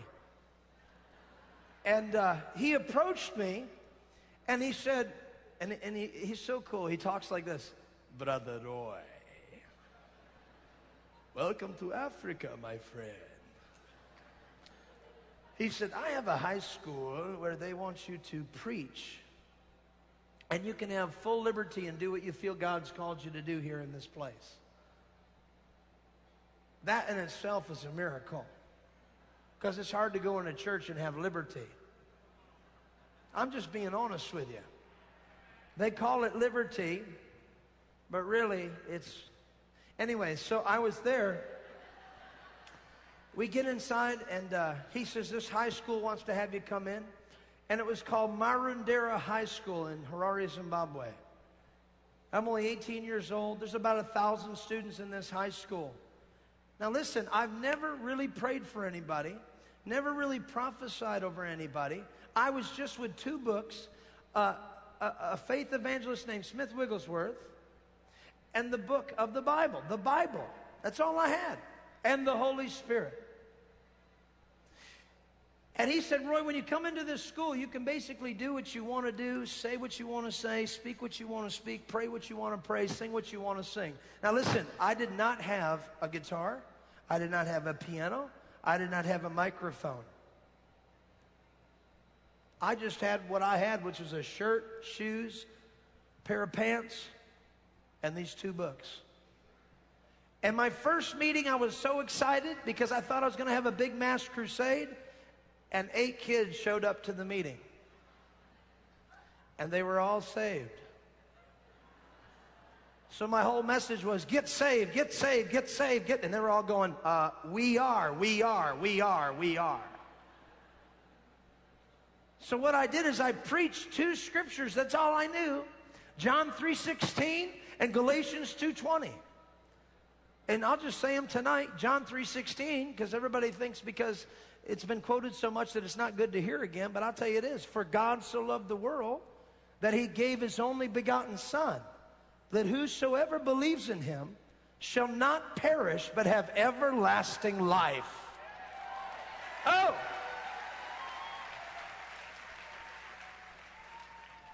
And then I would preach on Galatians 2:20 that said, "I have been crucified in Christ. It's no longer I who live, but Christ who lives in me. And the life I live now, I live by faith in the Son of God."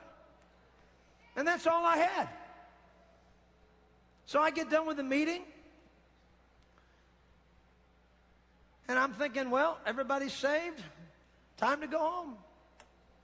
And the Lord says to me, I want you to call them up for prayer. And I want you to ask somebody if they need healing in their body. And I thought to myself, Lord, what if you don't move? And I heard a voice inside of me say, You're leaving here in a week anyway. What are they going to do? Track you to America?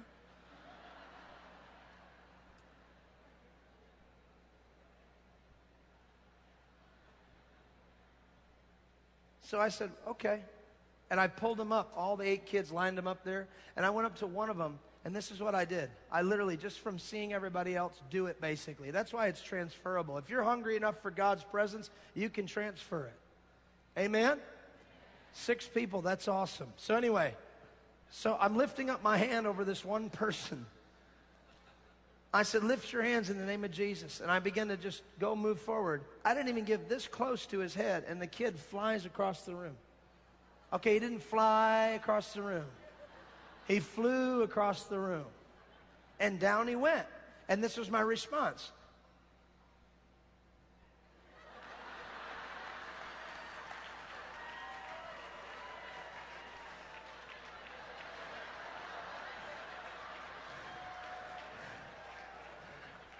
I've got the power.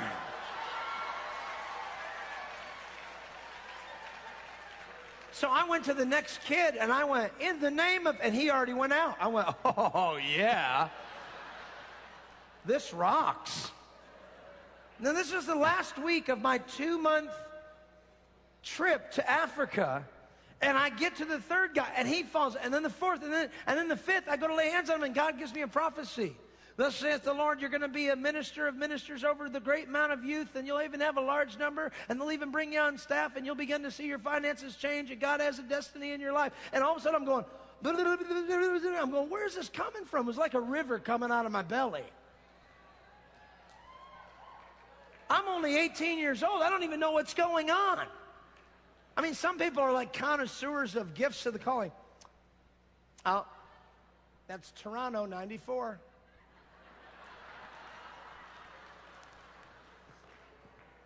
Some people that come and they connoisseur the revival. Oh, this, this tastes familiar.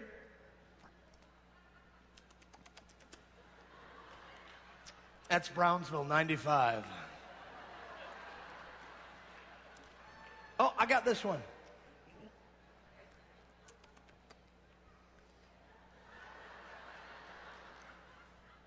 Yeah, yeah.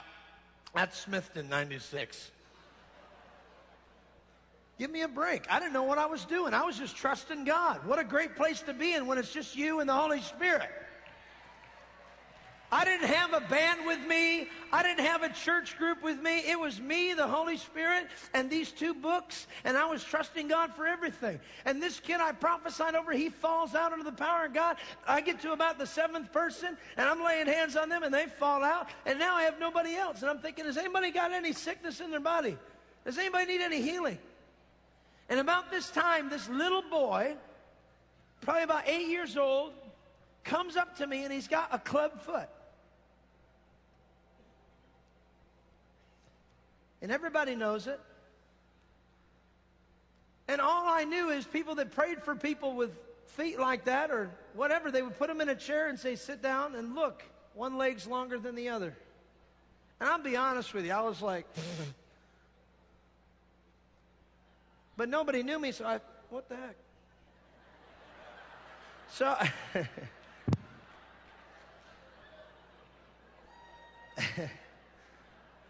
I'm just being honest. Can I be real with you tonight? Is that all right with you?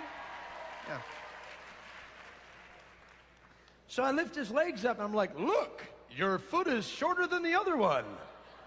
Like, duh. He's got a club foot.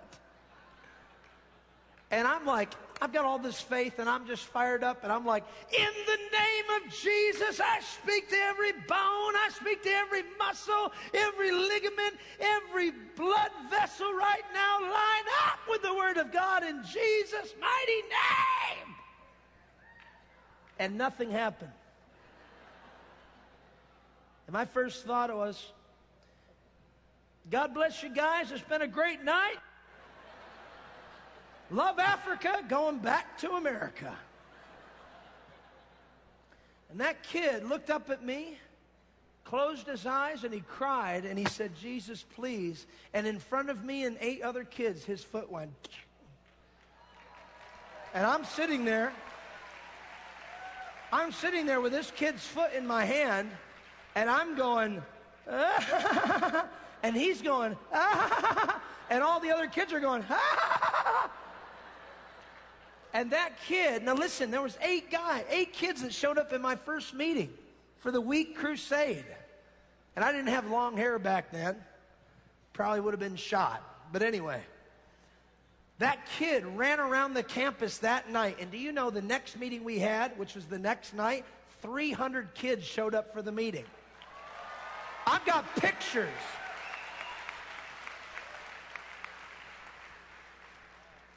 And I walked in, no piano, no guitar, no full band, no streamers, no lights, no cameras, no screens. And 300 people are sitting there holding their hands, students at a, at a, at a school, swaying back and forth, singing Kathryn Kuhlman's old song, Hallelujah. And one girl would be like, Hallelujah. I walked in going, oh, man, I worship you, Lord. I don't know about you, but as a, as a worship leader and a musician, the thing I live for is to hear the voices singing back to God because I feel like I've done what He's called me to do. Can you say amen? And when you walk into a room and you got 300 people that are in one accord in one place, something's about to happen. And I walked in and I said, Who wants prayer? And all of them went to the altar. And I went, Oh, okay. And I went like this Here we go.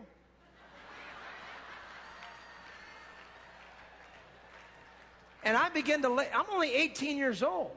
Once again, I did not go through school. I did not get training on well, when you pray for somebody, it's at a 35 degree angle. You want to make sure that your body is propped correctly forward, that your leg is up, catching the connection with God, and that you've got gum chewing at a 35 degree angle. Fire!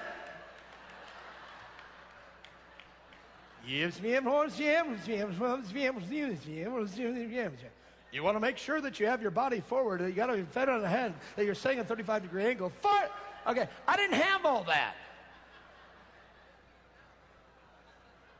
I just had the Holy Spirit. Thank God for the Holy Spirit. Oh! Woo! So here's 300 kids.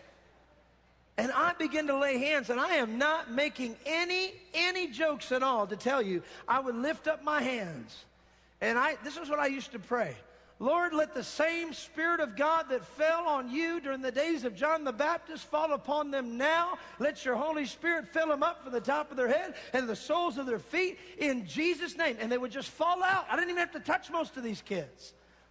50 would fall out at my right, 50 at my left. And the place got so ruptured, so ruptured by God's glory. The next night, no exaggeration, I have pictures to prove it. 600 kids showed up the very next night. It doubled.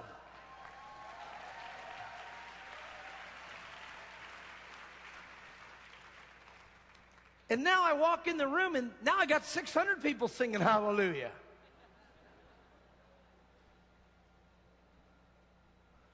And they're hungry. I want what you did for this kid. I want what you did for this girl. I want what you did for this family.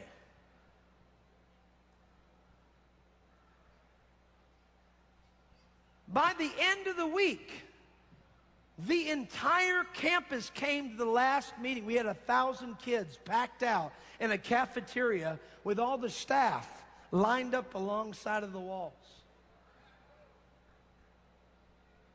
No music, no keyboard, no guitar, no promotion, no advertisement, just the Holy Ghost. And there were nights I would go back to my bed and I was staying at the headmaster's house. And I forgot to put my mosquito net on one night. Woke up with my left arm looking like a pizza. I know those mosquitoes were flying away going, man, we got to come back tomorrow. That was a great restaurant.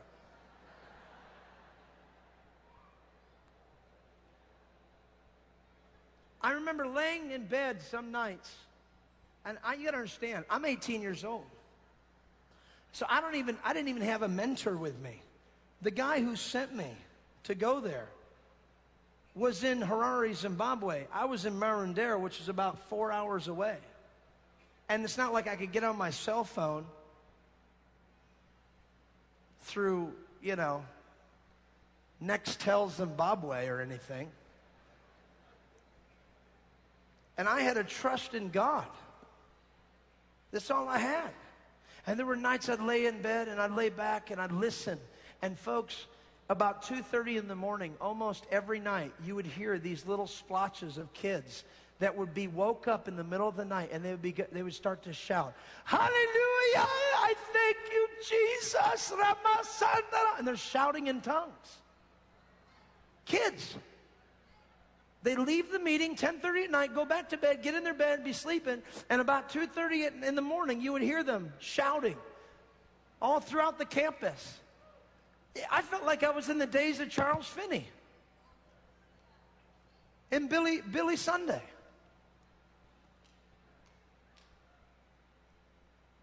And at the end of this entire thing, crusade that I did, they kicked me out of the school. You cannot be here anymore.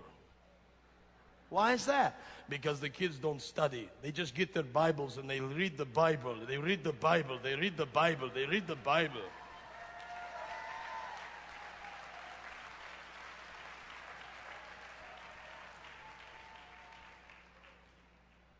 I mean, I know they need to learn mathematics. One plus one plus one equals three, three and one. They said, I'm sorry you have to leave here. You've messed this place up. And I did.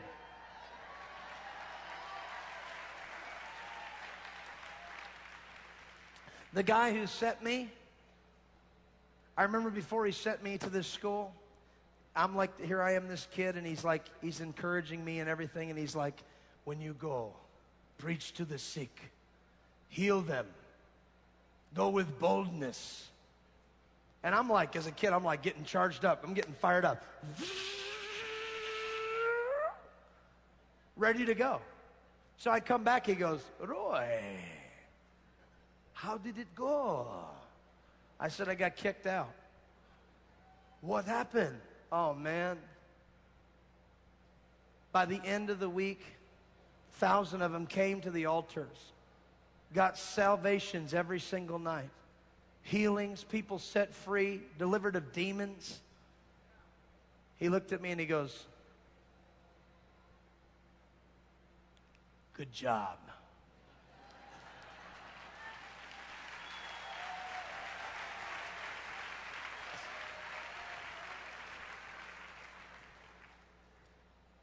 I came back to America after that, and of course, the flight was not exciting. I am not exaggerating. I got on a flight, and I won't drop any names, Air Zimbabwe. No sooner did we leave Harare, Zimbabwe, and fly into the air, and we hit a sandstorm with a combination of a lightning storm, with a combination of a tsunami. Now, I don't know how you can have a tsunami in the sky, but it happened to me. And I was the only white American on the plane. And it was a prop plane. And so, have you ever had emergency tongues? You know, one minute you're sitting there, you're like, oh, thank you, I'll have some peanut. Oh, I'm sorry. Yes, I'd like some more to drink. Thanks.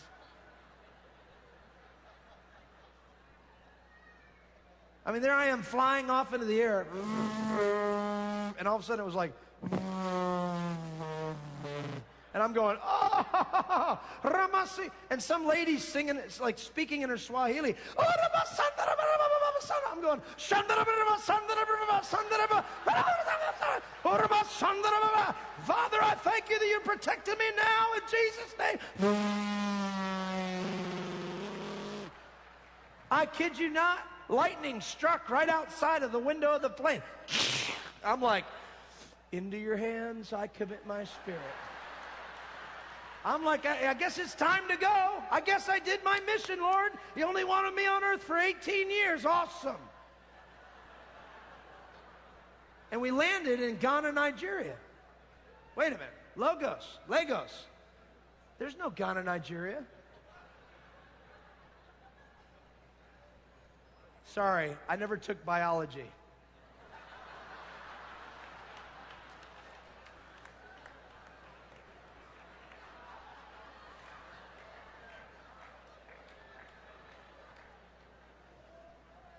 You'll get that in a second. It's like a grenade. I tell it, and then I wait eight seconds. We finally got back to America, and I went to tell the church what I did and what, what had happened with my life, and everybody was pumped up and psyched up. But all of a sudden, it was like, whoa, wait a minute, Roy, you're a little too excited. You got a little bit too much zeal on you. Just calm down because one day you'll be like me.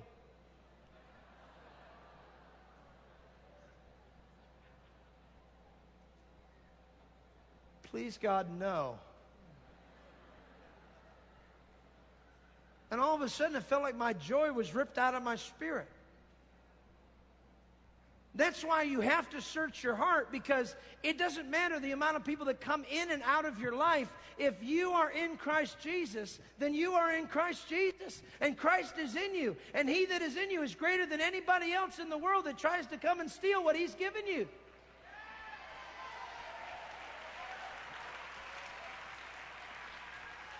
Bible says that nothing can separate you from the love of God. Nothing. He who began a good work in you is faithful to complete it. And you have to remember those things because they'll keep you. But boy, they were trying to steal the joy out of me. And I'm thinking to myself, oh my God, I just saw a thousand people get saved. I just saw a thousand people get their lives right with Jesus. And now you're telling me that it's not good enough, that I need to relax and sit down. And I begin to get raging in my heart. And I begin to become a rebel. And people used to say, Roy, when is he ever going to get help? I tell you, anybody helps him, they're going to have to go to a psychiatric center and get themselves some help. But see, what was happening to me is I was starting to have a journey with God that was building. And it wasn't about ministry, and it wasn't about being on stage, and it wasn't about going to touch the masses. I was starting to fall in love with Jesus and realize that He loved people just like He loved me.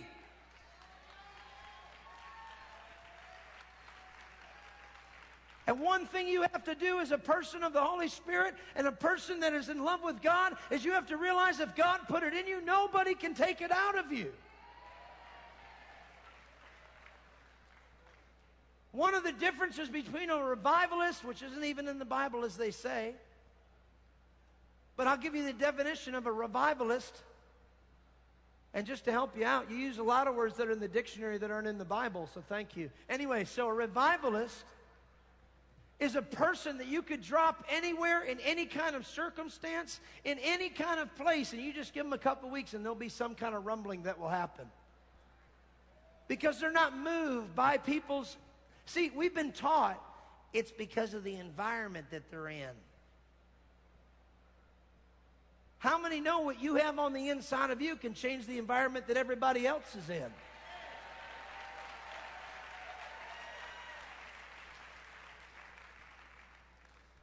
What he put on you, what he put in you when you got saved was final. It's a done deal. Jesus said on the cross, It is finished. You don't have to try to make it happen again. All you got to do is continue to commit and give your heart every single day. That's why it says renew your mind daily. Why? Because you need to. But people say this, oh, God, renew my mind. And the whole time he's going, no, you do it. You renew your mind. I died for your life. Now you have to take care of the temple that I put my presence in. Amen.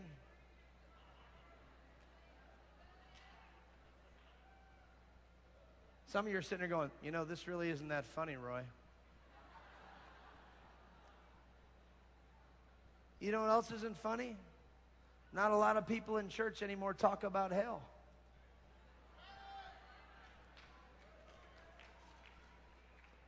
We talk about the gifts and we talk about the callings. We talk about signs and wonders and we talk about miracles. And we talk about how wonderful we can have paradise on earth. But my friend, hell is a real place. There's this one place in the Bible where there's this rich man and this beggar named Lazarus, and he's laying at his gate covered in sores. And this rich man has more than enough money to take care of this guy, and he doesn't.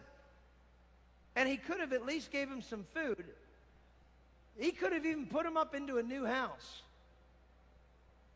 He could have brought him into his house. But he didn't. And it came to a place where they both died. And the Bible records that the angel carried Lazarus, the one who was broken and covered with sores, where dogs would come and even lick his sores, which is terrible, nasty, and disgusting.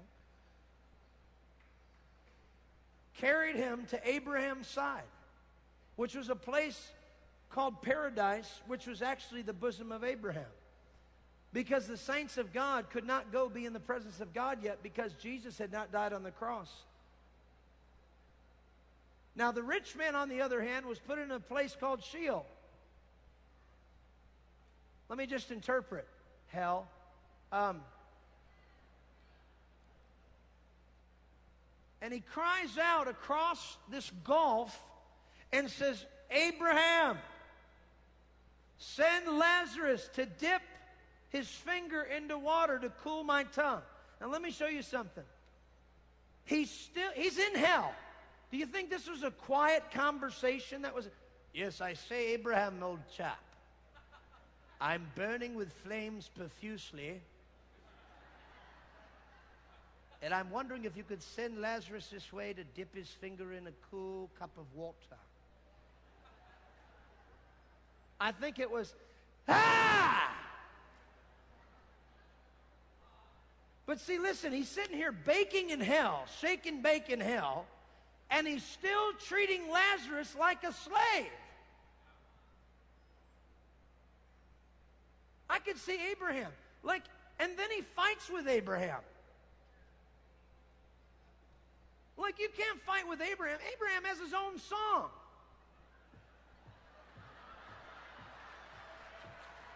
Father Abraham had many sons.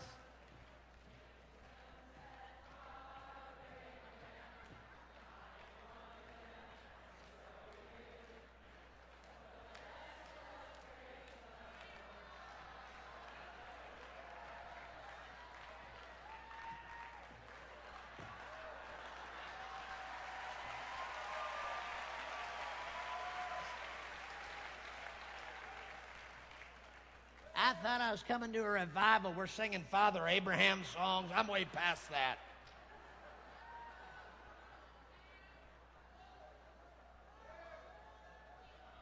You know, the Bible says, unless you come to him as a little child, you can't enter the kingdom of heaven.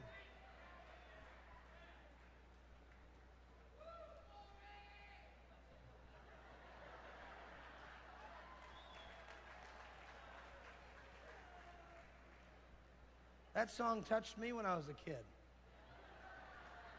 Literally, somebody was doing that and they popped me in the eye.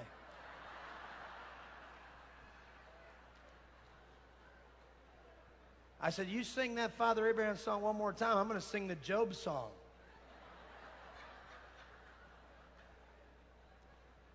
But you understand, this guy is baking in hell and he's still treating Lazarus like a slave.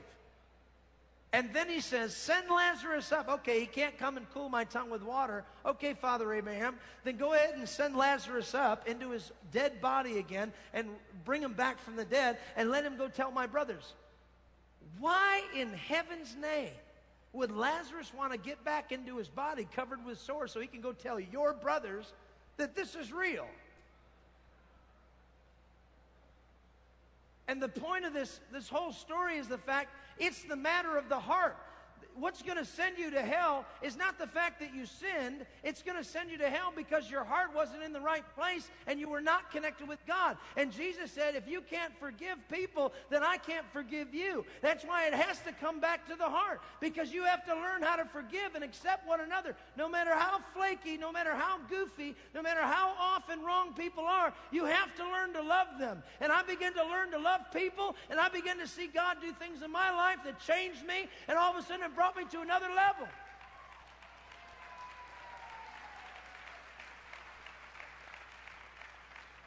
And if you're having problems in your life tonight, maybe you need to start loving people again, like you love your own body, like you love your own self. Because the thing that brings people to repentance isn't you fighting back at them. It's the fact that your love will break them in half and they'll be broken and you'll find that relationship mended again.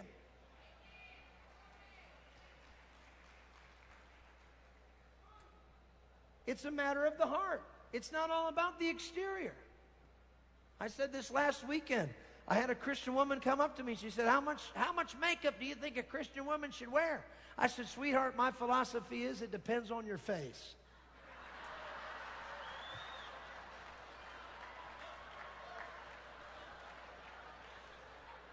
If you need it, dab it on.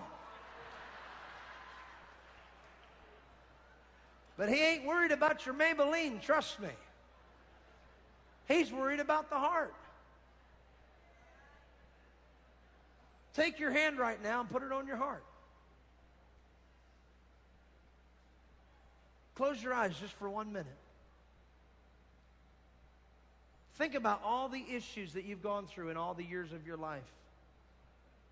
All the things that you've done right, all the things you've done wrong. And think about right now where you are right now at this moment with God and with your brother and with your sister. Think about it. You want revival, but then you forgive the one that really, really puts you through some stuff? Check your heart. You feel that? Think about it. The people that have persecuted this revival, if they took one moment, put their hand on their heart, and checked themselves, they'd find something. Nobody knows their own heart. The Bible says that the heart is deceitfully wicked and that no man can know it. So, what are the chances of you knowing your own heart? That's why God brings other people in your life to help you through the journey that you're on with Him.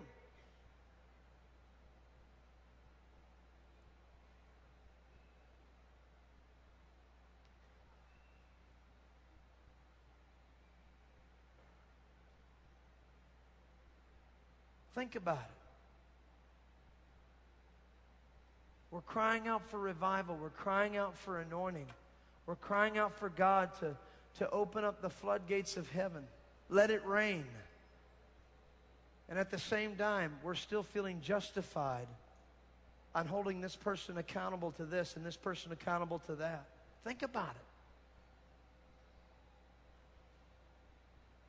I traveled from Maine down to Florida with my wife the last three years, going into every church. And you know what we heard in just about every church? The pastor was burnt out. How many, and just be honest with us, how many here you have had a place in your life where you have had burnout before? Now, I'm speaking of ministry and church and going and being a part of things. How many have been burned out? Come on. Eight people. That's awesome. We need each other. I really mean that. We need each other. That's what Jesus called us to do. He said the greatest of all these commandments is love. Where's the power of God? The power of God is in love. Sure, you can get healed with faith, but the power of God is love. And let me ask you a question tonight because I felt the Lord have me ask this. How many here really appreciate Todd Bentley?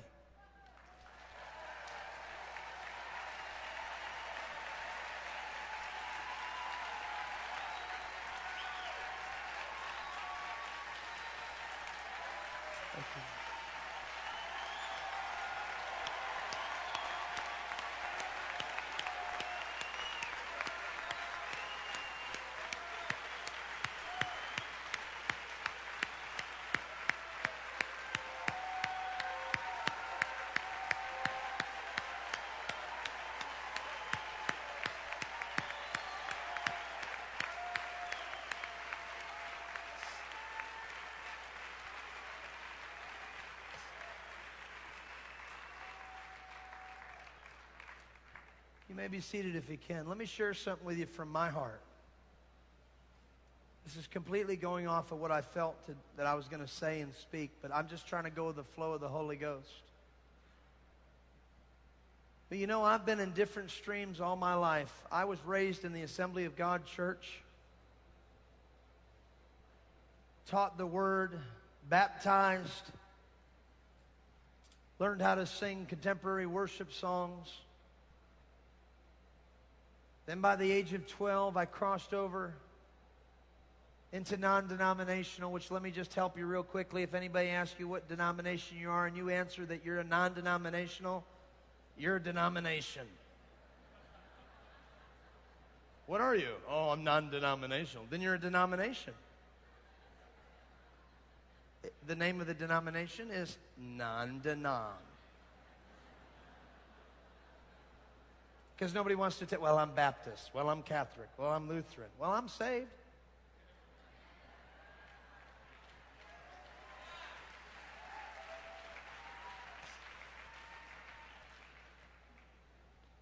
But I want to talk a little bit about this revival. I want to talk about what God's doing right now and some of the past things that I've gone through and what I've seen because I believe it'll help you tonight. And you know, my heart's desire tonight is to see every person in this place walk out of here with a brand new fire on the inside of their heart.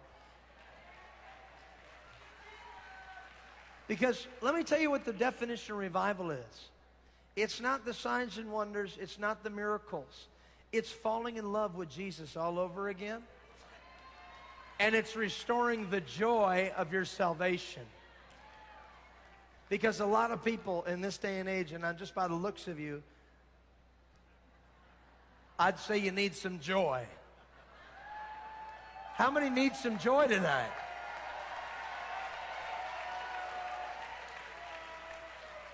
Well, you're going to get it. But crossing over into all kinds of streams and the places I've been in and the circles, you know, everybody's got this thing where it's a prophetic circle over here, and then it's the revival circle over here, and then it's the word of faith over here, and then it's the assembly of God over here, and then it's the, you know, JWs and the AYs and the C. I don't even know what I'm saying. But the point is, there's all kinds of different circles. And I'll be honest with you, when I first came and joined Fresh Fire Ministries back in February, that was not my circle. Listen to me. This was not my circle. Anybody here tonight? This was not my circle. I did not move. I, I, I, I you know, I, I'm just, I'm not Todd.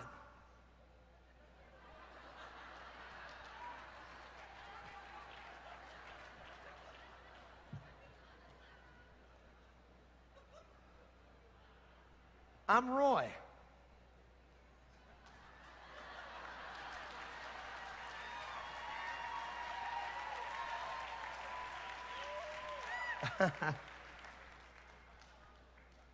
but a year ago in Auburndale, Florida, Todd came and did a four day conference. And I want to show you the faithfulness of God.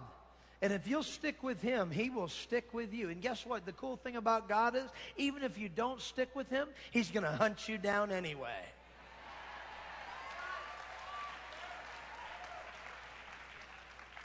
So I get a phone call from an evangelist friend of mine, and I won't name drop, Tom Scarrella. And he says, Roy, I'm doing a conference with Todd Bentley. And folks, I said this um, Who's that? Because I never traveled in those circles. I was in different circles. I said, Who's that? Oh, you love him. He's full of tattoos, piercings. He's a little guy. He might be little, but he's going to knock you down or body slam you if he.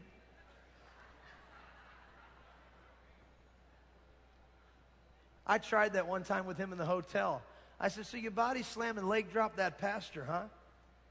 I said, Okay.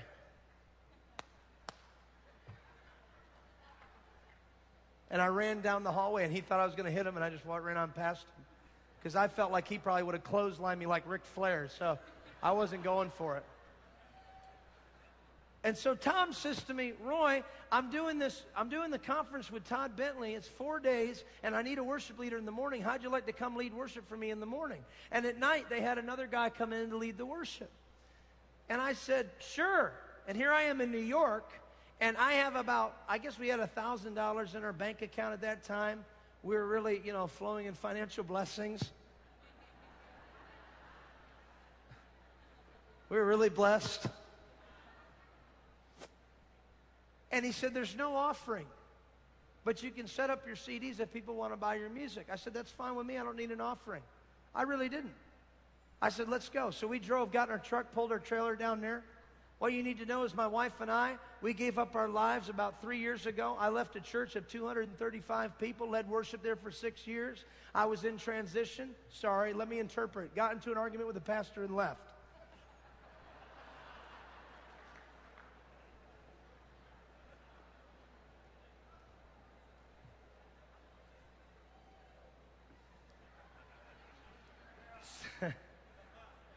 Some pastor's going, okay, he's not coming into our church. Because if my people found out that he can just leave and do what he wants, hey, I'm under accountability. And so we've been on the road. We gave up our house. We took all the stuff in our house. We put it into one storage unit. And then we told people to come inside and we gave it all away. And I looked at, I'll never forget, Melanie, we sat there inside that storage unit, had one box left. And we had some nice furniture. And we stood there. I stood there like this. And I went, honey, we are officially homeless. And you try to be really supportive, so you're like, hallelujah.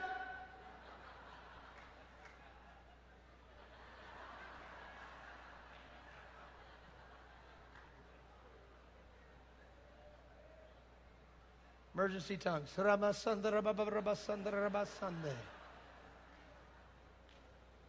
We just trusted God. People said, How are you going to do it with two kids on the road?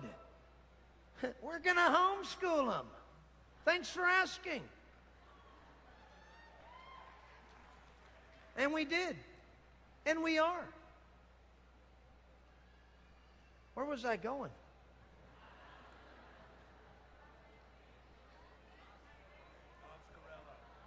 Oh, Auburndale. Thank you. I'm just, I, you know, with me, I get caught up in the moment because I think back when you're standing here on stage in front of 7,000 people or 6,000, you're thinking, how did I get here? Holy Ghost! So, yeah, I got it now. So I said yes to, to, to, to Tom, and and I came down with my wife, and like I said, we've been traveling on the road, and we get down to Auburndale, and we get in there, and and all of a sudden the phone call comes to my cell phone. Uh, the guy that's supposed to do the night meetings, he's stuck in Canada. And we were wondering if you could lead the worship, the two night meetings for Todd. And, and by the way, it's live on God TV. Is that okay? And I, I just, I- you know, I was like, um, yeah, it's fine.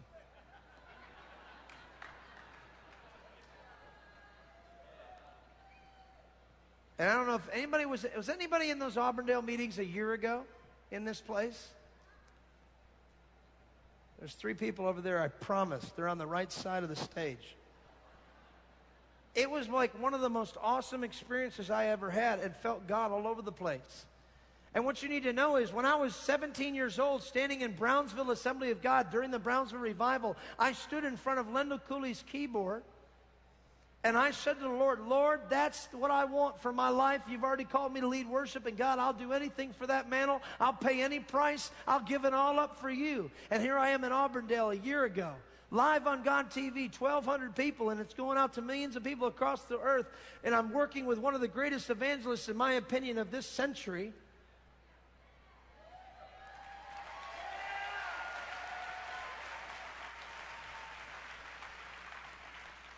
And I remember praying that prayer. And here I find myself up here on stage in front of a keyboard. It's the dream of my heart. It was everything within me that I wanted to become and do and be for God, to lead all of His people into worship, to honor Him and to glorify Him and to magnify Him. And I looked down off the stage and it almost looked like Brownsville because the way Auburndale Church is, it kind of slopes down and there's pews that go down and then there's a whole balcony up on the top, exactly like Brownsville Assembly of God. And it was just a little bit more seating. And I'm standing at I'm standing at the keyboard like this. And I get done with a song, like the first song, Rain Down or whatever it was doing. And I get done, and I was just sitting there just enjoying the presence of the Lord. And God said this to me. He says, Do you remember that prayer you prayed when you were 17? And you watch it on video. I was like, Yep.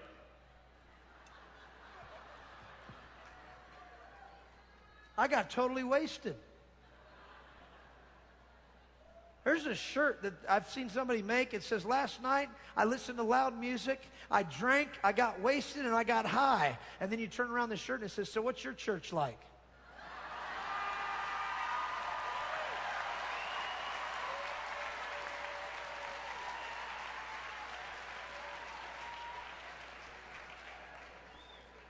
He said, Do you remember that prayer, Roy? I said, Yes, sir, I sure do. He says, I'm a God who answers prayer.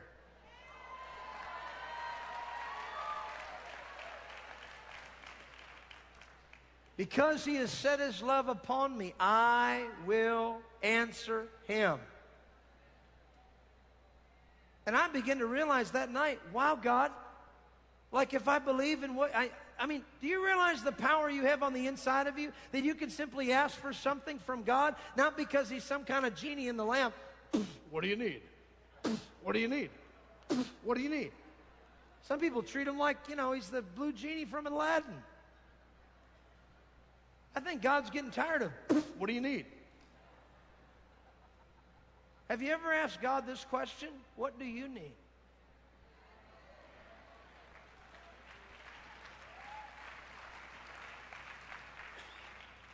Well, God doesn't need nothing. Are you kidding me? Why do you think he's still messing around with the human race?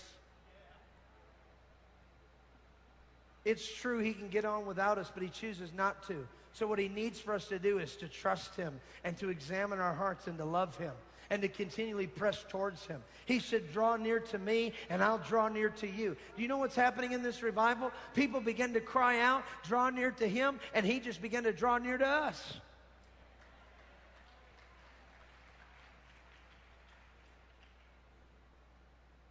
And so it happened that night. I'm in the back green room, and Todd walks up to me and he goes, I like your sauce.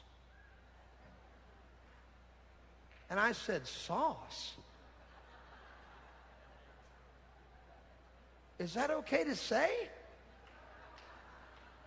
I don't particularly like sauce, it makes my eyes swell up. Okay. And I found out he meant anointing. See, you learn different kind of verbiage in these different circles. You know, if you go out to the world and you tell them, How are you? Well, I'm blessed and highly favored, and I'm washed in blood of the Lamb. You're washed in what?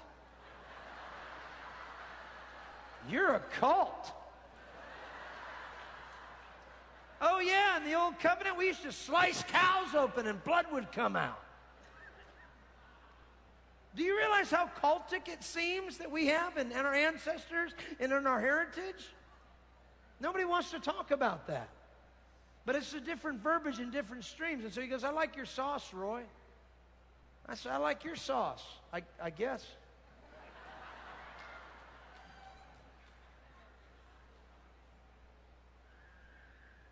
About the third day, Tom's preaching in the morning, and he's preaching on the subject of giving. And I'm sitting there with my guitar. I had a really nice Takamine. For musicians, you'd understand this.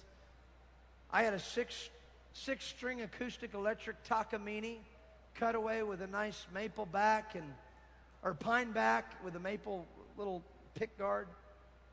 Real nice, nice case. And Tom's preaching about giving. He talks about how he gave a guitar away, and God blessed him with a Taylor guitar, which is a better guitar than that. I always tell people I used to drive a Mercedes, and then I joined, and I now I, I ride a Bentley.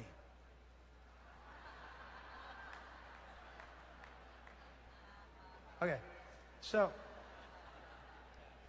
sorry, I had to do that. Thank you. You got it. I appreciate that. There's people at home going. Yeah. That was tongues, and if you need the interpretation, I'll get back to you. And so I'm sitting there, and God speaks to me a word quickly. I'm sitting on the front row. He says, Roy, give your guitar right now. And I'm like, Satan, I come against you in Jesus' name. I tell you right now, I bind you right now. That cannot be a voice from the Lord. But see, me, I'm so radical and I'm so crazy and nuts the way I've always lived my life. I said, you know what? Who cares? I jumped up on the platform, grabbed the guitar, ran down, gave it to this kid, and he flipped out. He's like, whoa! And I was like, quickly take it. Right now.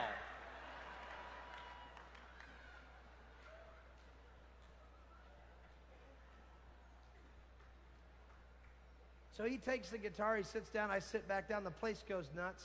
I didn't do it for show. I did it because God spoke to my heart. And I didn't do it because I was trying to get a Taylor guitar or I was trying to get anything else. And do you know, 20 minutes later, I go in the back lobby after the meeting's over with, and I walk out there, and there's a line of people with checks in their hand waiting to bless me.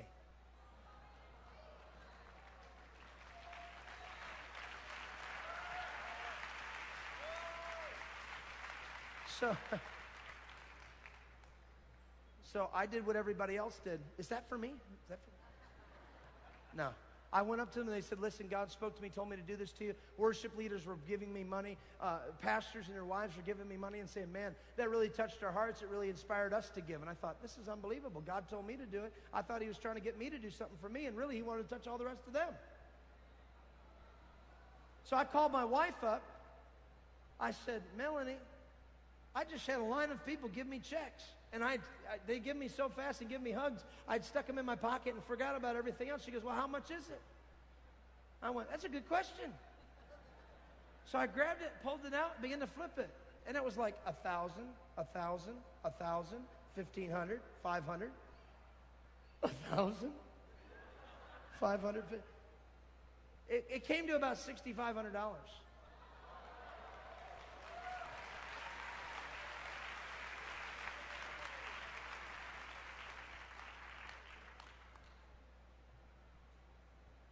I serve a God who takes care of me. The Bible says, Give and it shall be given unto you. Finish it. Shake.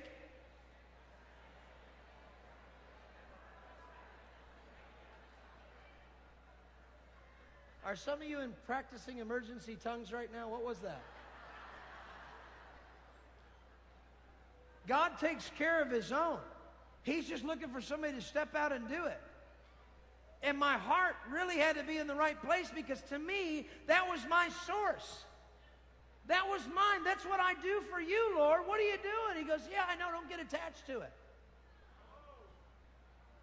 Do you know that when everything means nothing to you, that will be the time that God will give you everything?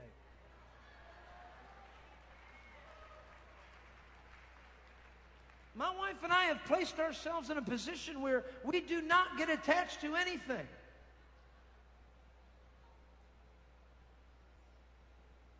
One guy said, Well, that ring that's on your finger is pretty attached.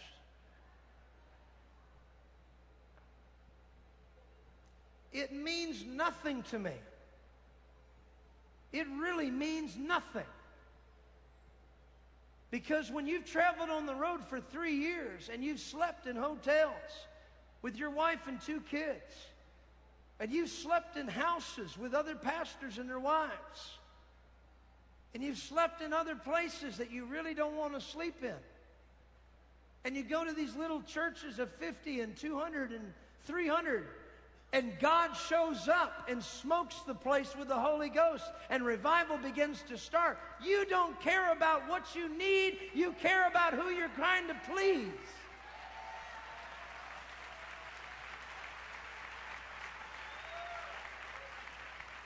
And my friend, the thing I'm trying to tell you tonight is get your eyes off of the exterior and the financial arenas of your life and put it on Jesus and put them on your heart. Because really, when you get all said and done, the rings, the gold, the houses, the cars, the ministries, they're all going to burn up. And all you're going to be left with is you and your heart.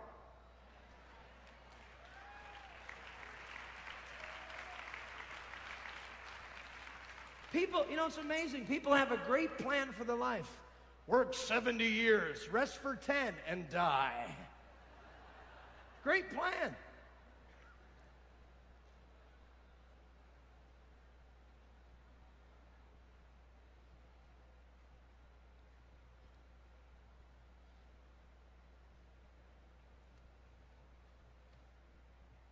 At the end of Auburndale,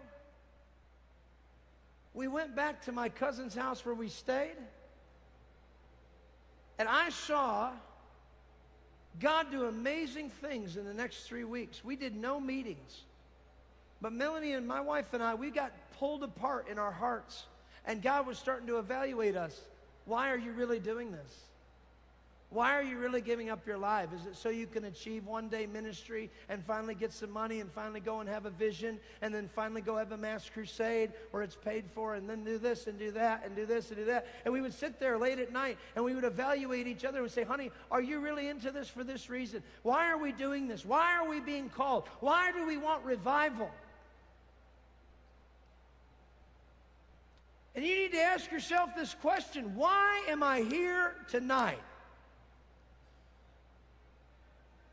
Because if you're here to see a performance, you've definitely come to the wrong place.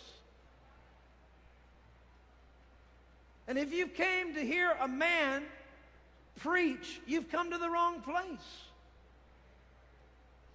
The reason we continue to come here is because we are hungry and desperate, and we want to see God move in this earth. Because people are getting tired of religion and they're getting tired of tradition and they want to see the power of God again and they want to see the church healed again and they want to see the gifts of the Spirit move again and they want to see their children come back again and they want to see people get on fire again with the Holy Ghost.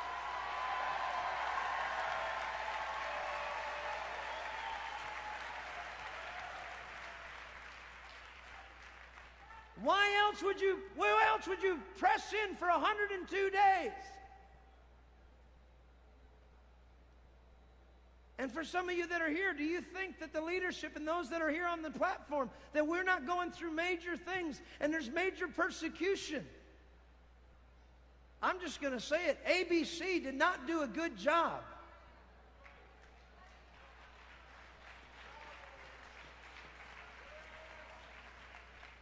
They had about a two hour interview with Todd Bentley, but do they know Todd Bentley?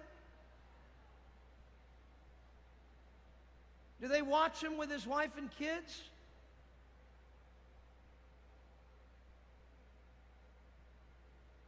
I'll bet you that's how John the Baptist was treated. And you know what's cool about Jesus? You know what's cool about Jesus, man? At one point in the Bible, he's walking down the road with 5,000 so called followers of Christ. And as he's walking down, there's a man inside of a tree by the name, not inside, he's on. He was a really wee little man. There's a man that was sitting on top of a tree limb looking at Jesus. And a lot of people, I don't know about you, but see, in, in the Jewish in the Jewish tradition, if you were a tax collector for the Roman government, you were called a traitor. And so people sing, you know, Zacchaeus was a wee little man who sat in a tree, got up there as fast as he could. How about this song?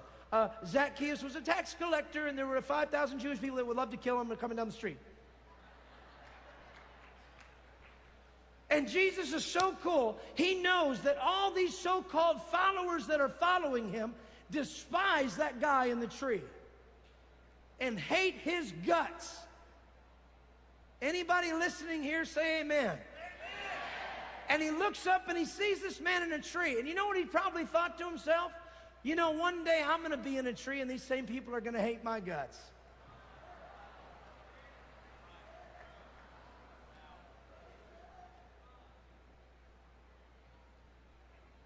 So Jesus does what I love. Jesus is such a revivalist. He says, Zacchaeus, come down from that tree. I'm going to honor you today. I'm going to have dinner in your household.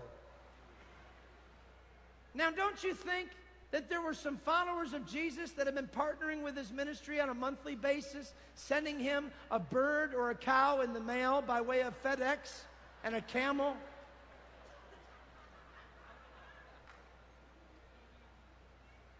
And they used to receive their little frankincense bottle of oil. Like, excuse me, Jesus, why don't you honor me? I've been following you for the last four months. I gave up my ministry. Jesus says, No, I'm going after this guy because everybody else hates him. So he says, I'm going to have dinner in your house. That's a little imposing, isn't it, Jesus?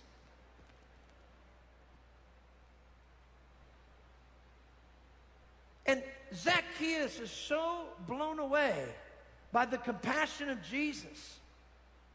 He gets down out of the tree and he comes up to him. And listen, the thing about tax collectors is they collect taxes for the Roman government, and then the Roman government allows them a little bit of cream on the top to keep for themselves. And he says, Lord, today of all I have, I give half to the poor. And you know what Jesus said back to him? Today, salvation has come to your household. He just got saved.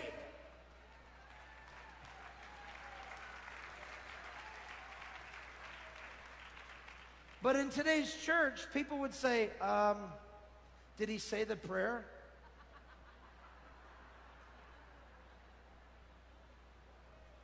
I mean, we have created religion, folks. Man has created religion. God has created relationship.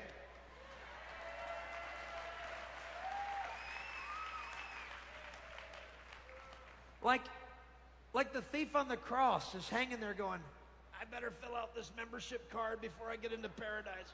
Uh, uh, uh,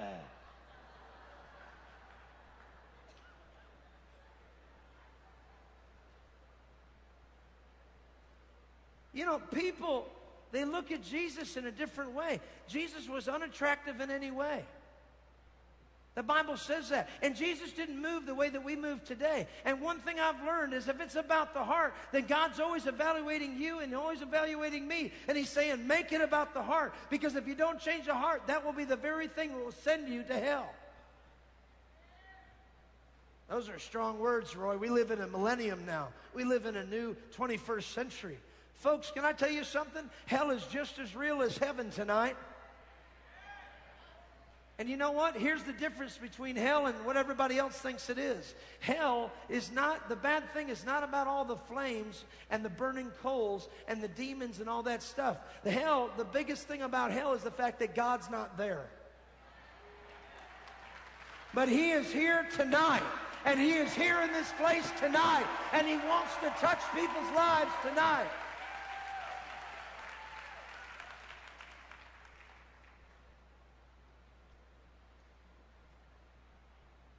I wasn't going to even say this tonight. I wasn't even going to preach this tonight. There's one scripture in the Bible that really keeps me on the edge. And it's in Luke. And it says, In the last days, many will come to me and say, Lord, Lord. And he'll say, Depart from me, you worker of iniquity. And their response will be, But Lord, I prophesy and I cast out demons in your name. He says, But I don't know you. Remove him, remove her, throw her into the lake of fire that was built for this for Satan. And I remember sitting there one night and I said, Lord, what do you mean by this? Are you talking about the Christian? And folks, there's too many scriptures in the Bible where he's saying, yes, I'm talking about those at one time that gave their life to me that then they lost it. A lot of people, they want to be in revival, they want to be in church, but their heart is far from God. I said, Lord, then show me, please show me. How can I stay in a place of relationship with you? He said, okay, let's look at the two guys there. The one that he accepted into the, uh, into the, uh, the joy, the, enter the joy of the Lord, and then the other guy that he said, depart from me, you worker of iniquity. And he showed me two men standing before Jesus on the day of judgment. And the one guy is sitting there going like this. This is his attitude. I prophesied. I gave up my whole life to get into here. How can you do this to me? I gave my life for you, Jesus. I had a ministry that went around the world for 28 years, for 29 years, for 50 years. How can you do this to me, God? Look at the attitude. Look at the posture and position of the person. And then I saw the other guy who Jesus referred to and said, You gave me food when I was hungry. You gave me water when I was thirsty. And when I was naked, you put clothes on my back. And their response is, I did. I did, Lord?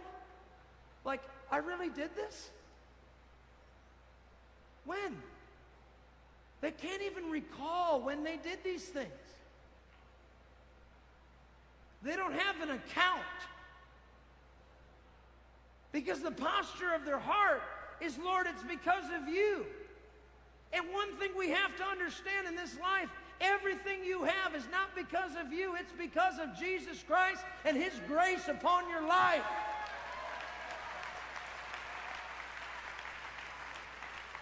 You cannot take credit for something that Jesus did.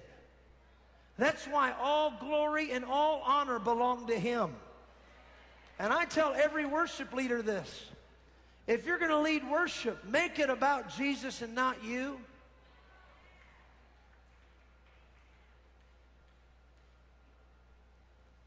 And every pastor, don't preach something that you just got off the internet the night before. Preach that thing that was inside of your heart when you first got saved. And I understand. Some people are here tonight, they're going, Roy, you don't understand. I've been preaching for 15 years. I've been preaching the same message for 25 years. I'm starting to lose it. I'm starting to get burnt out. Guess what? Get on your face. Well, I've already done that, Roy. You don't understand. I've prayed and I've seeked and I've gone after God and I've got a hold of Him. Well, let me tell you something. If God blessed Jacob, who was a manipulator and a moocher and a thief and a deceiver, receiver and he got blessed, what are your chances?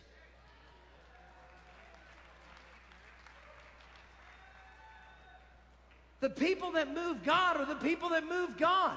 And one of the things that I did when I was 19 years, or 21 years old, is I got a hold of God one night in upstate New York, and I said, God, you've got to change my heart. I didn't say, Lord, change the church, change the church. I said, God, change my heart. Todd Bentley, for 90 days, got on his face before the Lord and said, Lord, I want to know you. I'm not looking for ministry. I just want to know you because I used to be on drugs and alcohol, but now I'm sitting here with a brand new lease on life and I have to know you. And he persevered and he pressed in even when it hurt the most. And because he pressed in and persevered, the God's word says, Draw near to me and I will draw near to you.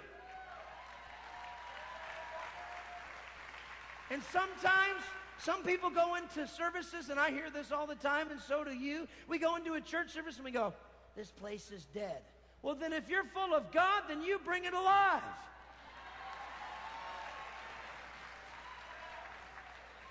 It's dead, huh?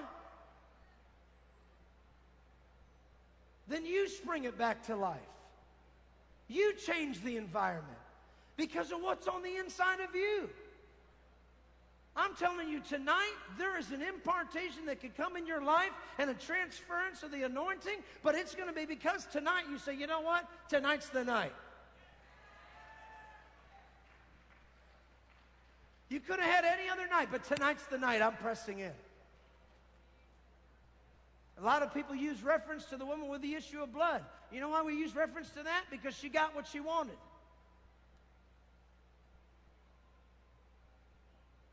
Services feel dead to you? You feel like when you cough?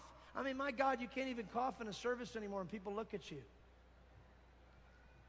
And some churches try to open up a candy, you're like, people are like, what are you doing? Hallelujah.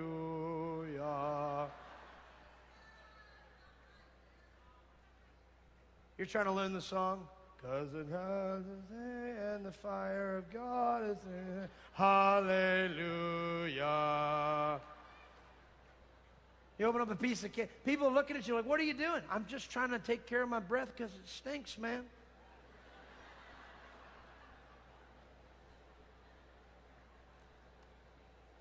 And we get upset with each other and we get on, down on each other and we start sitting back and going, yeah, this thing ain't going to last much longer. This thing's not going to go much farther. The body of Christ has been brought together in this revival because God is not just trying to heal your body, He is trying to heal your heart. And I'll tell you right now, tonight, as sure as I'm standing on this stage, if you give your heart to Him tonight, He will change you. And you will not be the same. And you might have come down to altars for the last 10 years, but tonight can change everything because it changed me. I'm not the same I used to be. When I begin to realize that I'm a carrier of His presence, that everywhere I walk I can change environments, that everywhere I walk I can literally be a vessel used by God, I begin to realize that everything else that was coming at me was the enemy trying to steer me off course. And one of the things God is trying to get through to you is listen, the way that I choose for you is not straight and wide, it's narrow and crooked. But it's because I want to work the character in you and I want to put integrity into you and I want you to be people that are honest and I want you to be people that love each other. And though you have the fire of God, if you don't have love, you have nothing. I don't care if you can call down fire from heaven, if your ministry's been going on for years, if you don't have love for one for another, and you can't get past your issues and problems with your brother, you have nothing.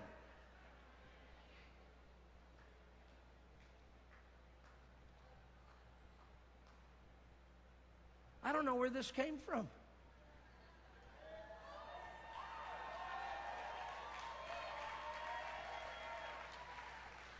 I'll tell you what, I feel the fire of God in here tonight, though. I feel like people's hearts are being dealt with right now. The beautiful thing about God is every generation, He always sends His word into that generation, and somebody gets it. And he continues throughout the rest of the generations and he touches lives and changes people's hearts.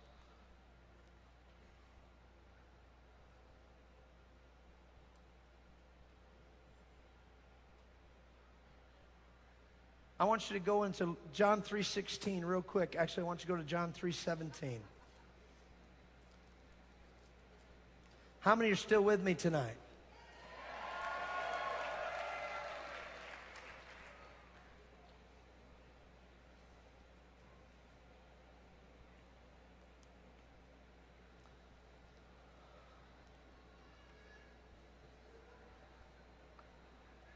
One thing that can kill a revival like it has in the past is politics and people that are out to do their own deal, people with agendas. You know, the thing with me and Todd is we just canceled all our agendas. We put our ministries on hold and we said, God, we're going after you. And you know what's the beautiful thing? Two different circles and streams came together.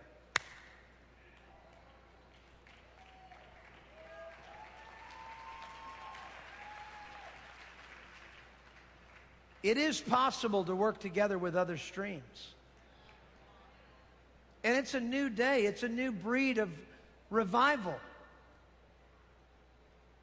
Jeff said to me today, is Jeff here? Oh. Jeff said to me today, he said, Roy, you know, I really see like it's like you're the sons of revival because you and Todd were brought up in the middle of this thing. I was touched in Brownsville, and Todd was touched by Toronto.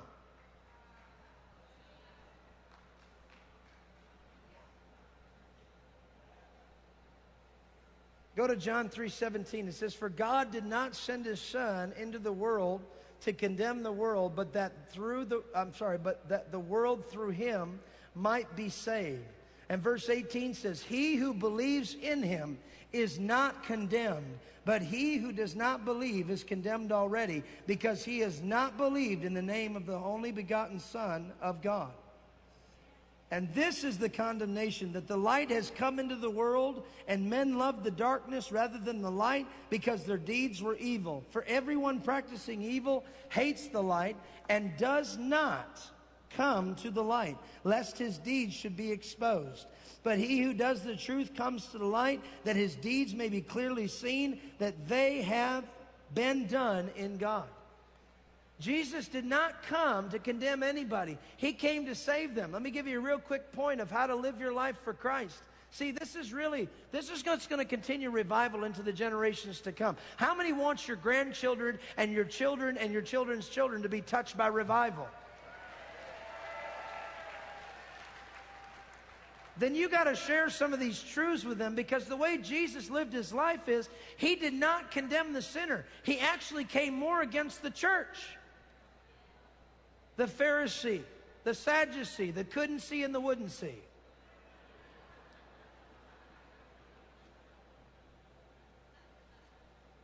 I'll give you a great example. There's a woman that's caught in adultery. Let me just say that again. She's caught in the act of adultery. She's in the act and she gets caught. And by Hebrew law, they are to pull you out into the middle of the town, rough you up according to the law of Moses, and then they are to process judgment with two different ministers, I'm sorry, for two different witnesses that are there, and then they can stone you because they have the right justification to do it. And so Jesus is walking down this town, and this woman's brought out into the middle of the place. She just committed adultery, folks. Not only she committed adultery, she was caught in the act, which is what the Bible says. And when they drag her out and they rough her up a little bit, they say, Jesus, this, you know, the Bible says to stone her. What do you say? And they're trying to trap him. They're trying to trap him. He says, Yeah, you're right. It says to stone her. But here's what I say because, see, I got ordained in the River Jordan with John the Baptist, who's the son of Zechariah, which makes him a minister. And there's two ministers that have to process ordination over somebody. And who was the second minister? Oh, it was God. And he gave me a new yoke of authority because there's never been another rabbi or a priest or anybody in leadership that ever had God come out of the heavens and say, Behold, my beloved Son, in whom I'm well pleased. You weren't at that ordination service? Okay. And he said, Here's what I say. You can stone her because it's the law. And Jesus, it says that Jesus did not break the law in any way, he had to fulfill it in every way. He says, You can stone her, but you without sin cast the first stone.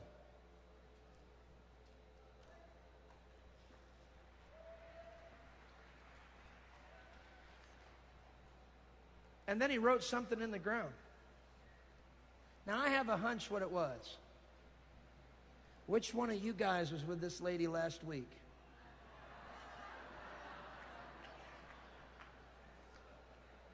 And one by one, I could see him going, Man.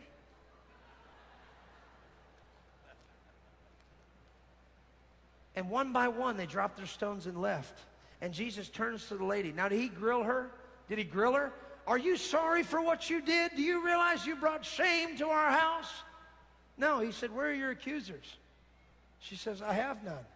Oh, well, by Hebrew law, if you have no witnesses, it's called a mistrial. Case closed. Move on. That's the way Jesus works. And he says, Where's your accusers? Well, I have none. Well, then neither do I accuse you. Go and don't, don't do it again.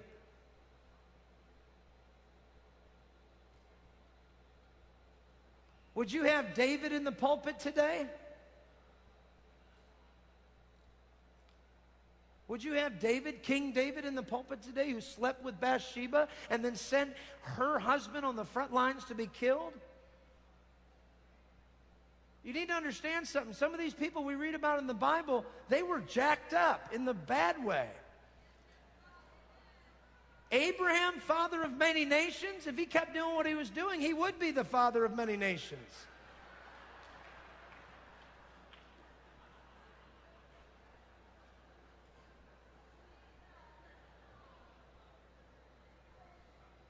Moses, Moses had an anger problem and he was a premeditated murderer.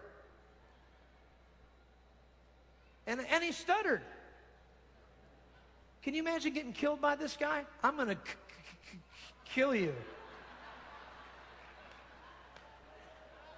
You're going to, d- down.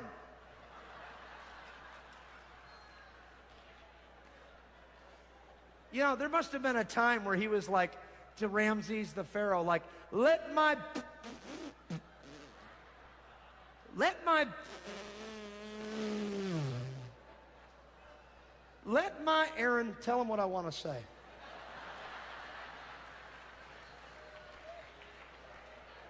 These people were jacked up. Paul? Paul? A self appointed apostle, basically, who murdered everybody that professed the name of Jesus. A murderer. Can you imagine what he went through after he got con- uh, converted to Christianity? And he walks up to a guy's house to tell him about Jesus. And there's a, there's a kid that's maybe about 21 years old. And he sees this guy and he looks at him and he says, You know, about 10 years ago, didn't you kill my mom and dad?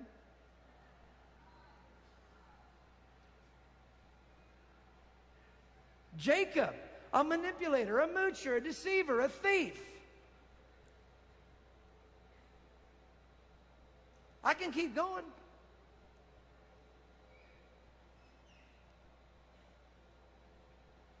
Noah, don't you know how to keep your liquor down?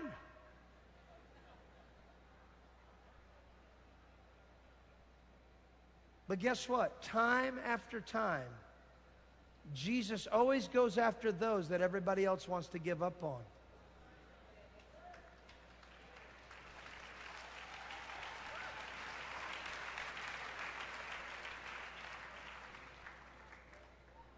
Now, you might be here tonight and you're thinking, man, maybe God can use you.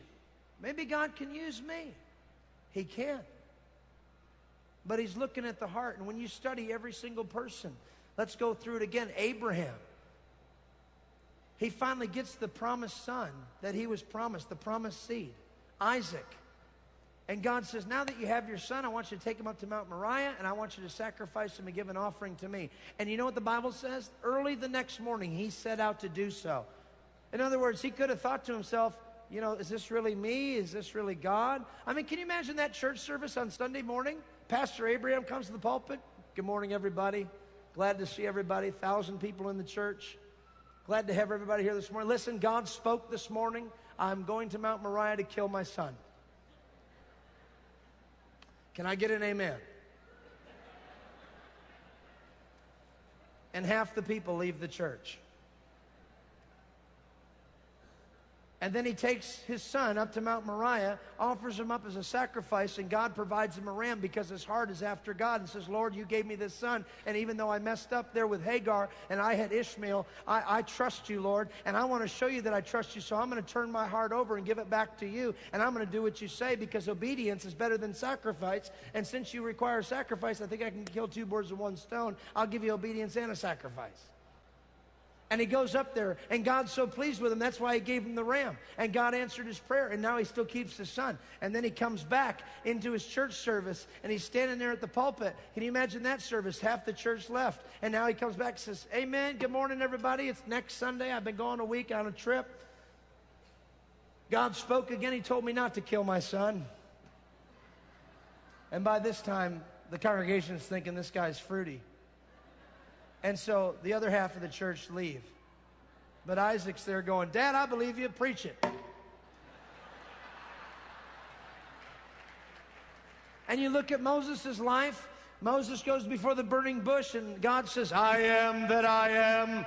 And he God's he says, I am God. And then like Moses is sitting there like this with fire in his eyes. He's like, Lord, I'm unworthy, but if you want me to do it, I'll do it. And he goes back and he gives up a whole life of the Egyptian gold and the, and the provision and everything. And he says, I must be what God's called me to be, even though I was raised up in all this nice stuff. I have to go and become a Hebrew again, and I have to wear this cloth, and I have to go out there with a staff, even though it's opposite from everything he'd done. And God honored him in that and led all three million of the Jews out of Egypt and into, into the promised land.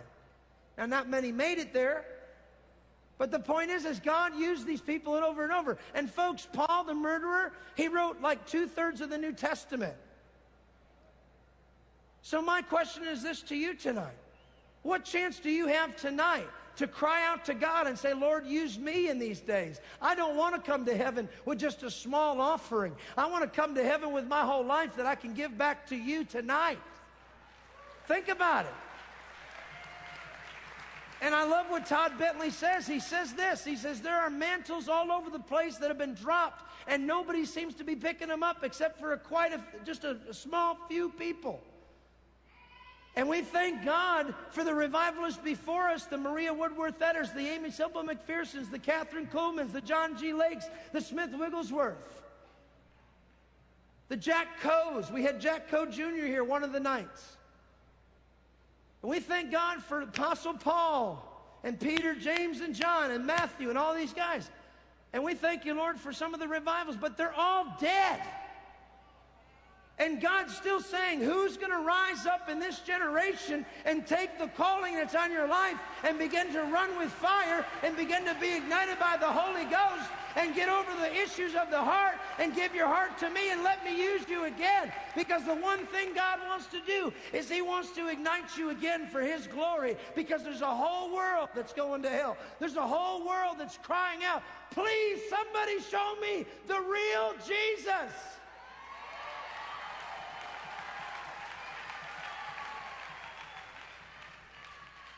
Oh!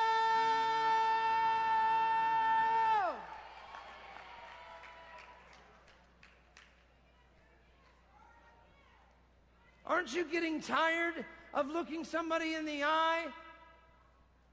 And you say, Do you know Jesus? And they say they do, but inside your heart you're going, I don't think they do.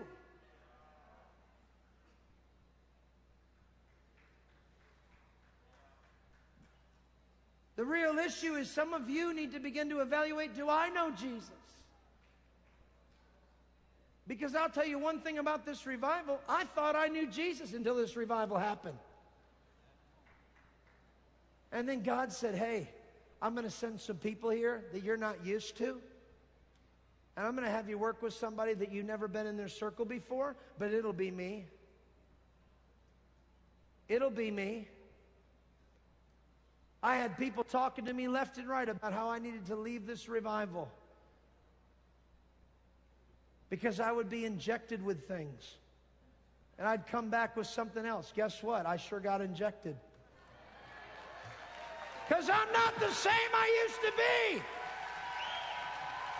Oh.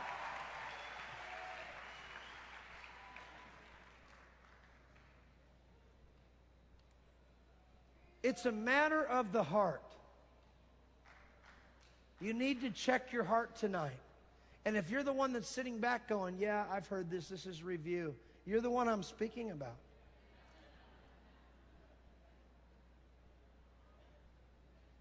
Think about it. Where's the passion? Where's the passion? Sure, you come to a big place with a big sound system and there's drums and you can feel the kick when it comes in and all this stuff. But what happens when you go back home? What happens when problems arise? What happens when people start to question you? What happens when people say, Was that revival real? And yet you were here and you know you experienced it, but you sell out because you care about what people think. We're not trying to create a denomination here. We're not trying to take over the Christian world. We're simply saying, God, teach us how to love one another and use us mightily to heal the world. You said, preach the gospel and heal the sick, and preach deliverance to the captives and set men free. And there's freedom in this place tonight. There is freedom in this place tonight. I said there's freedom in this place tonight. There is freedom. Oh! Oh!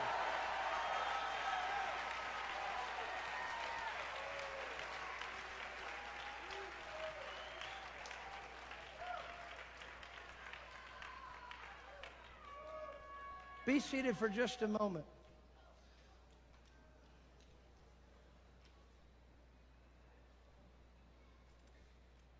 We do appreciate, how many do appreciate Rory and Wendy Alec for putting this on God TV?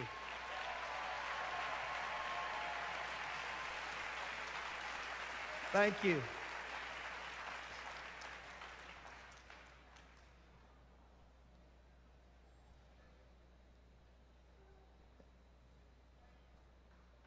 I sat with Todd last week or two weeks ago, I think it was. I looked him in the eyes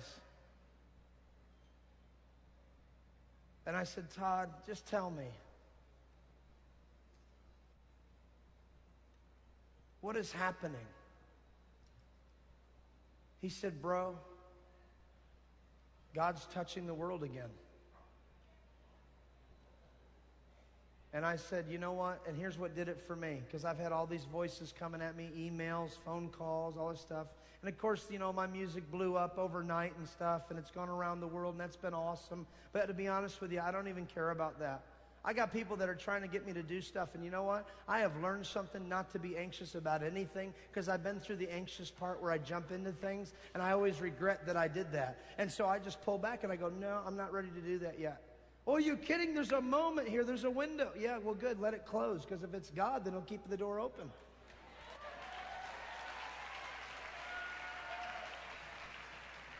But when I was here on July 4th and I saw person after person get into that tank and get baptized in water, 2,000 people, and one after another said this I was up in North Carolina. I was up in Virginia. I was up in Washington. I was up in Minnesota. And I was watching God TV. And all of a sudden, the revival came across the television. And when I clicked on the channel, the Holy Spirit began to minister to me through the worship. And then there was a word of knowledge that came out, and I received it. And then Todd began to speak, and he had this word for me. And I began to hear him preach about the mantles falling, and I felt it touch my life. And I've been on drugs and alcohol. And today, I'm six weeks clean.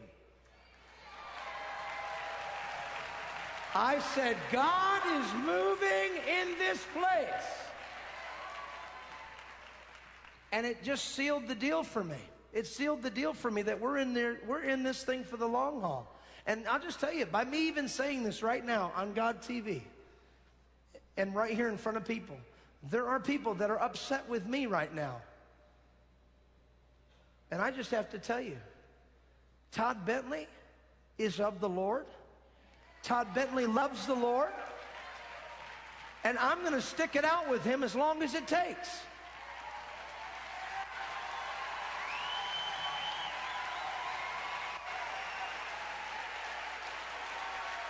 This is a move of God.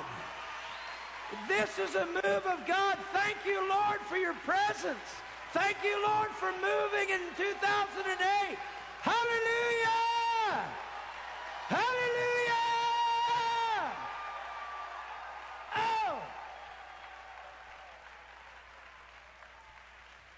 I want everybody to sit down just for a minute, and I want every head bowed, every eye closed right now. You have heard the message tonight. It is a message straight from the press of heaven because I had nothing written down. I thought I had a message I was going to speak, and God said, Go this direction right now. And I'm just obeying the Holy Spirit. So, with every head bowed and every eye closed, please respect those around about you. Please, I'm asking. Tonight could be your last night, and you're watching by way of God TV right now. You're watching by way of the internet. And night after night, you sit and you watch these meetings, and you're sitting there typing in some of the YouTube comments, and you're typing in some of the forum and the chats, and you're not sure about this and sure about this. We're talking to you. Right now, you're watching on your computer. We're talking about you. Your heart has to change. It's all about the heart. It's not about your ministry. It's not about what God can do for you. He's already done it. He's looking for what you can now do. And the only thing you can do is give your heart. I mean, really do it. And that means love your brother. And so tonight you might be in this tent right now, and I have to ask you a very important question. If you were to die this very moment, you'd walk out these doors and breathe your last breath. Could you say beyond a shadow of a doubt that you would spend eternity in heaven with Jesus Christ? If you cannot answer that question, I want you to lift your hands up right now and say, Ro, would you pray for me? I want to receive Jesus right now in my heart. Just lift your hands right now. Just lift them right up. I see your hand. Thank you. Anyone else? Thank you. I see your hand. I see your hand. Hands are going up. Thank you. Thank you. I see your hand. And you might be in this place tonight and you've already come down to altar calls and you've been through the churches, but man, something on the inside of you can't let go of this grudge and you have unforgiveness in your heart and you just can't see past this thing because you've been so hurt, you've been so damaged, you've been so wounded. Your mother called you a name. Your father used to beat you up. You were molested. You were raped. I am sorry that happened to you, but there's a call on your life, and God desperately needs you to get in line with that call because it's the environments that He wants you to go in and change. And if you're continually looking at that, how can you change an environment if you yourself have not given your heart over to the Lord? And you go to church and you put on the mask. How are you doing? Blessed and highly favored. Amen. But on the inside, you're dead. Listen, tonight can be the night. Tonight can be the night. Your response tonight can change everything in your entire life. It did for me, it can for you. If that's you right now, I want you to lift your hand up and say, Roy, would you pray for me right now? I don't want to do this anymore. I want to, this tonight's my night. I see hands up all over the place. All over the place. Anyone else? Tonight's my night. I'm getting it right with God right now. And then I give you one third call, and that's this. You've been in the church for years, and you've had one foot in the world for years, and you can't make up the difference. You go to work and you, you just got out of a revival meeting, but you, you, you find yourself back in conversations that are compromising.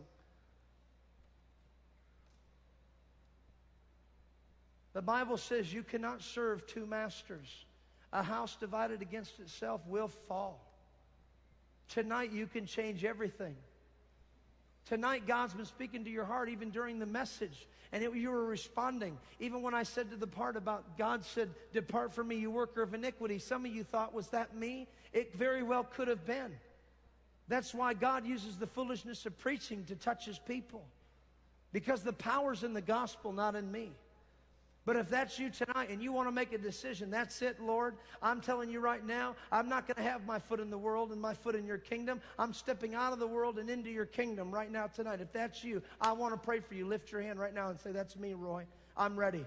Wow, hands up all over the place. Praise God. I want everybody that lifted your hand to stand right now, and I want you to come to this altar. I want to pray for you right now. Come on.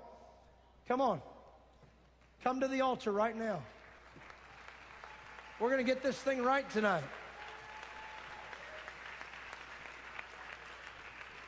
Hallelujah.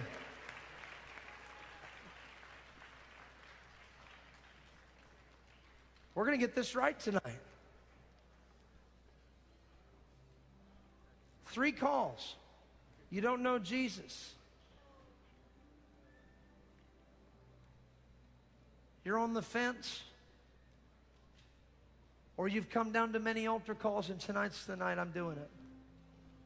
Look at the people come. My God. Lord Jesus, you're so awesome. Look at this. Look at this. Listen, this is what it's all about, man.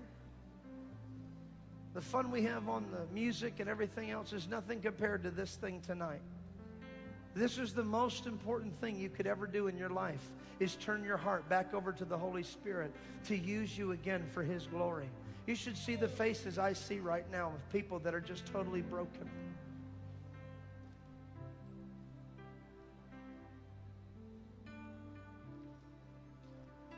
I want you to say this after me with your eyes closed and your hands up to heaven because that's where your help comes from.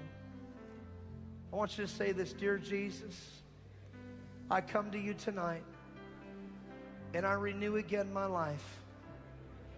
I give you my heart.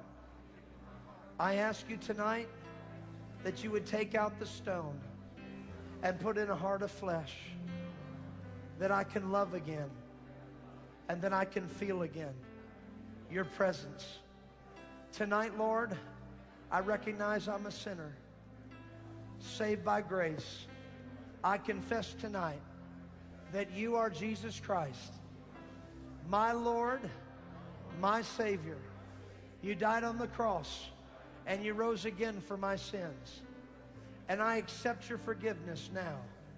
In Jesus' name, wash me, cleanse me, fill me Take my heart and use me for your glory.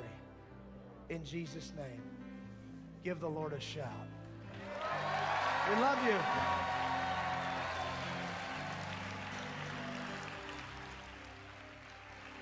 My, my, my.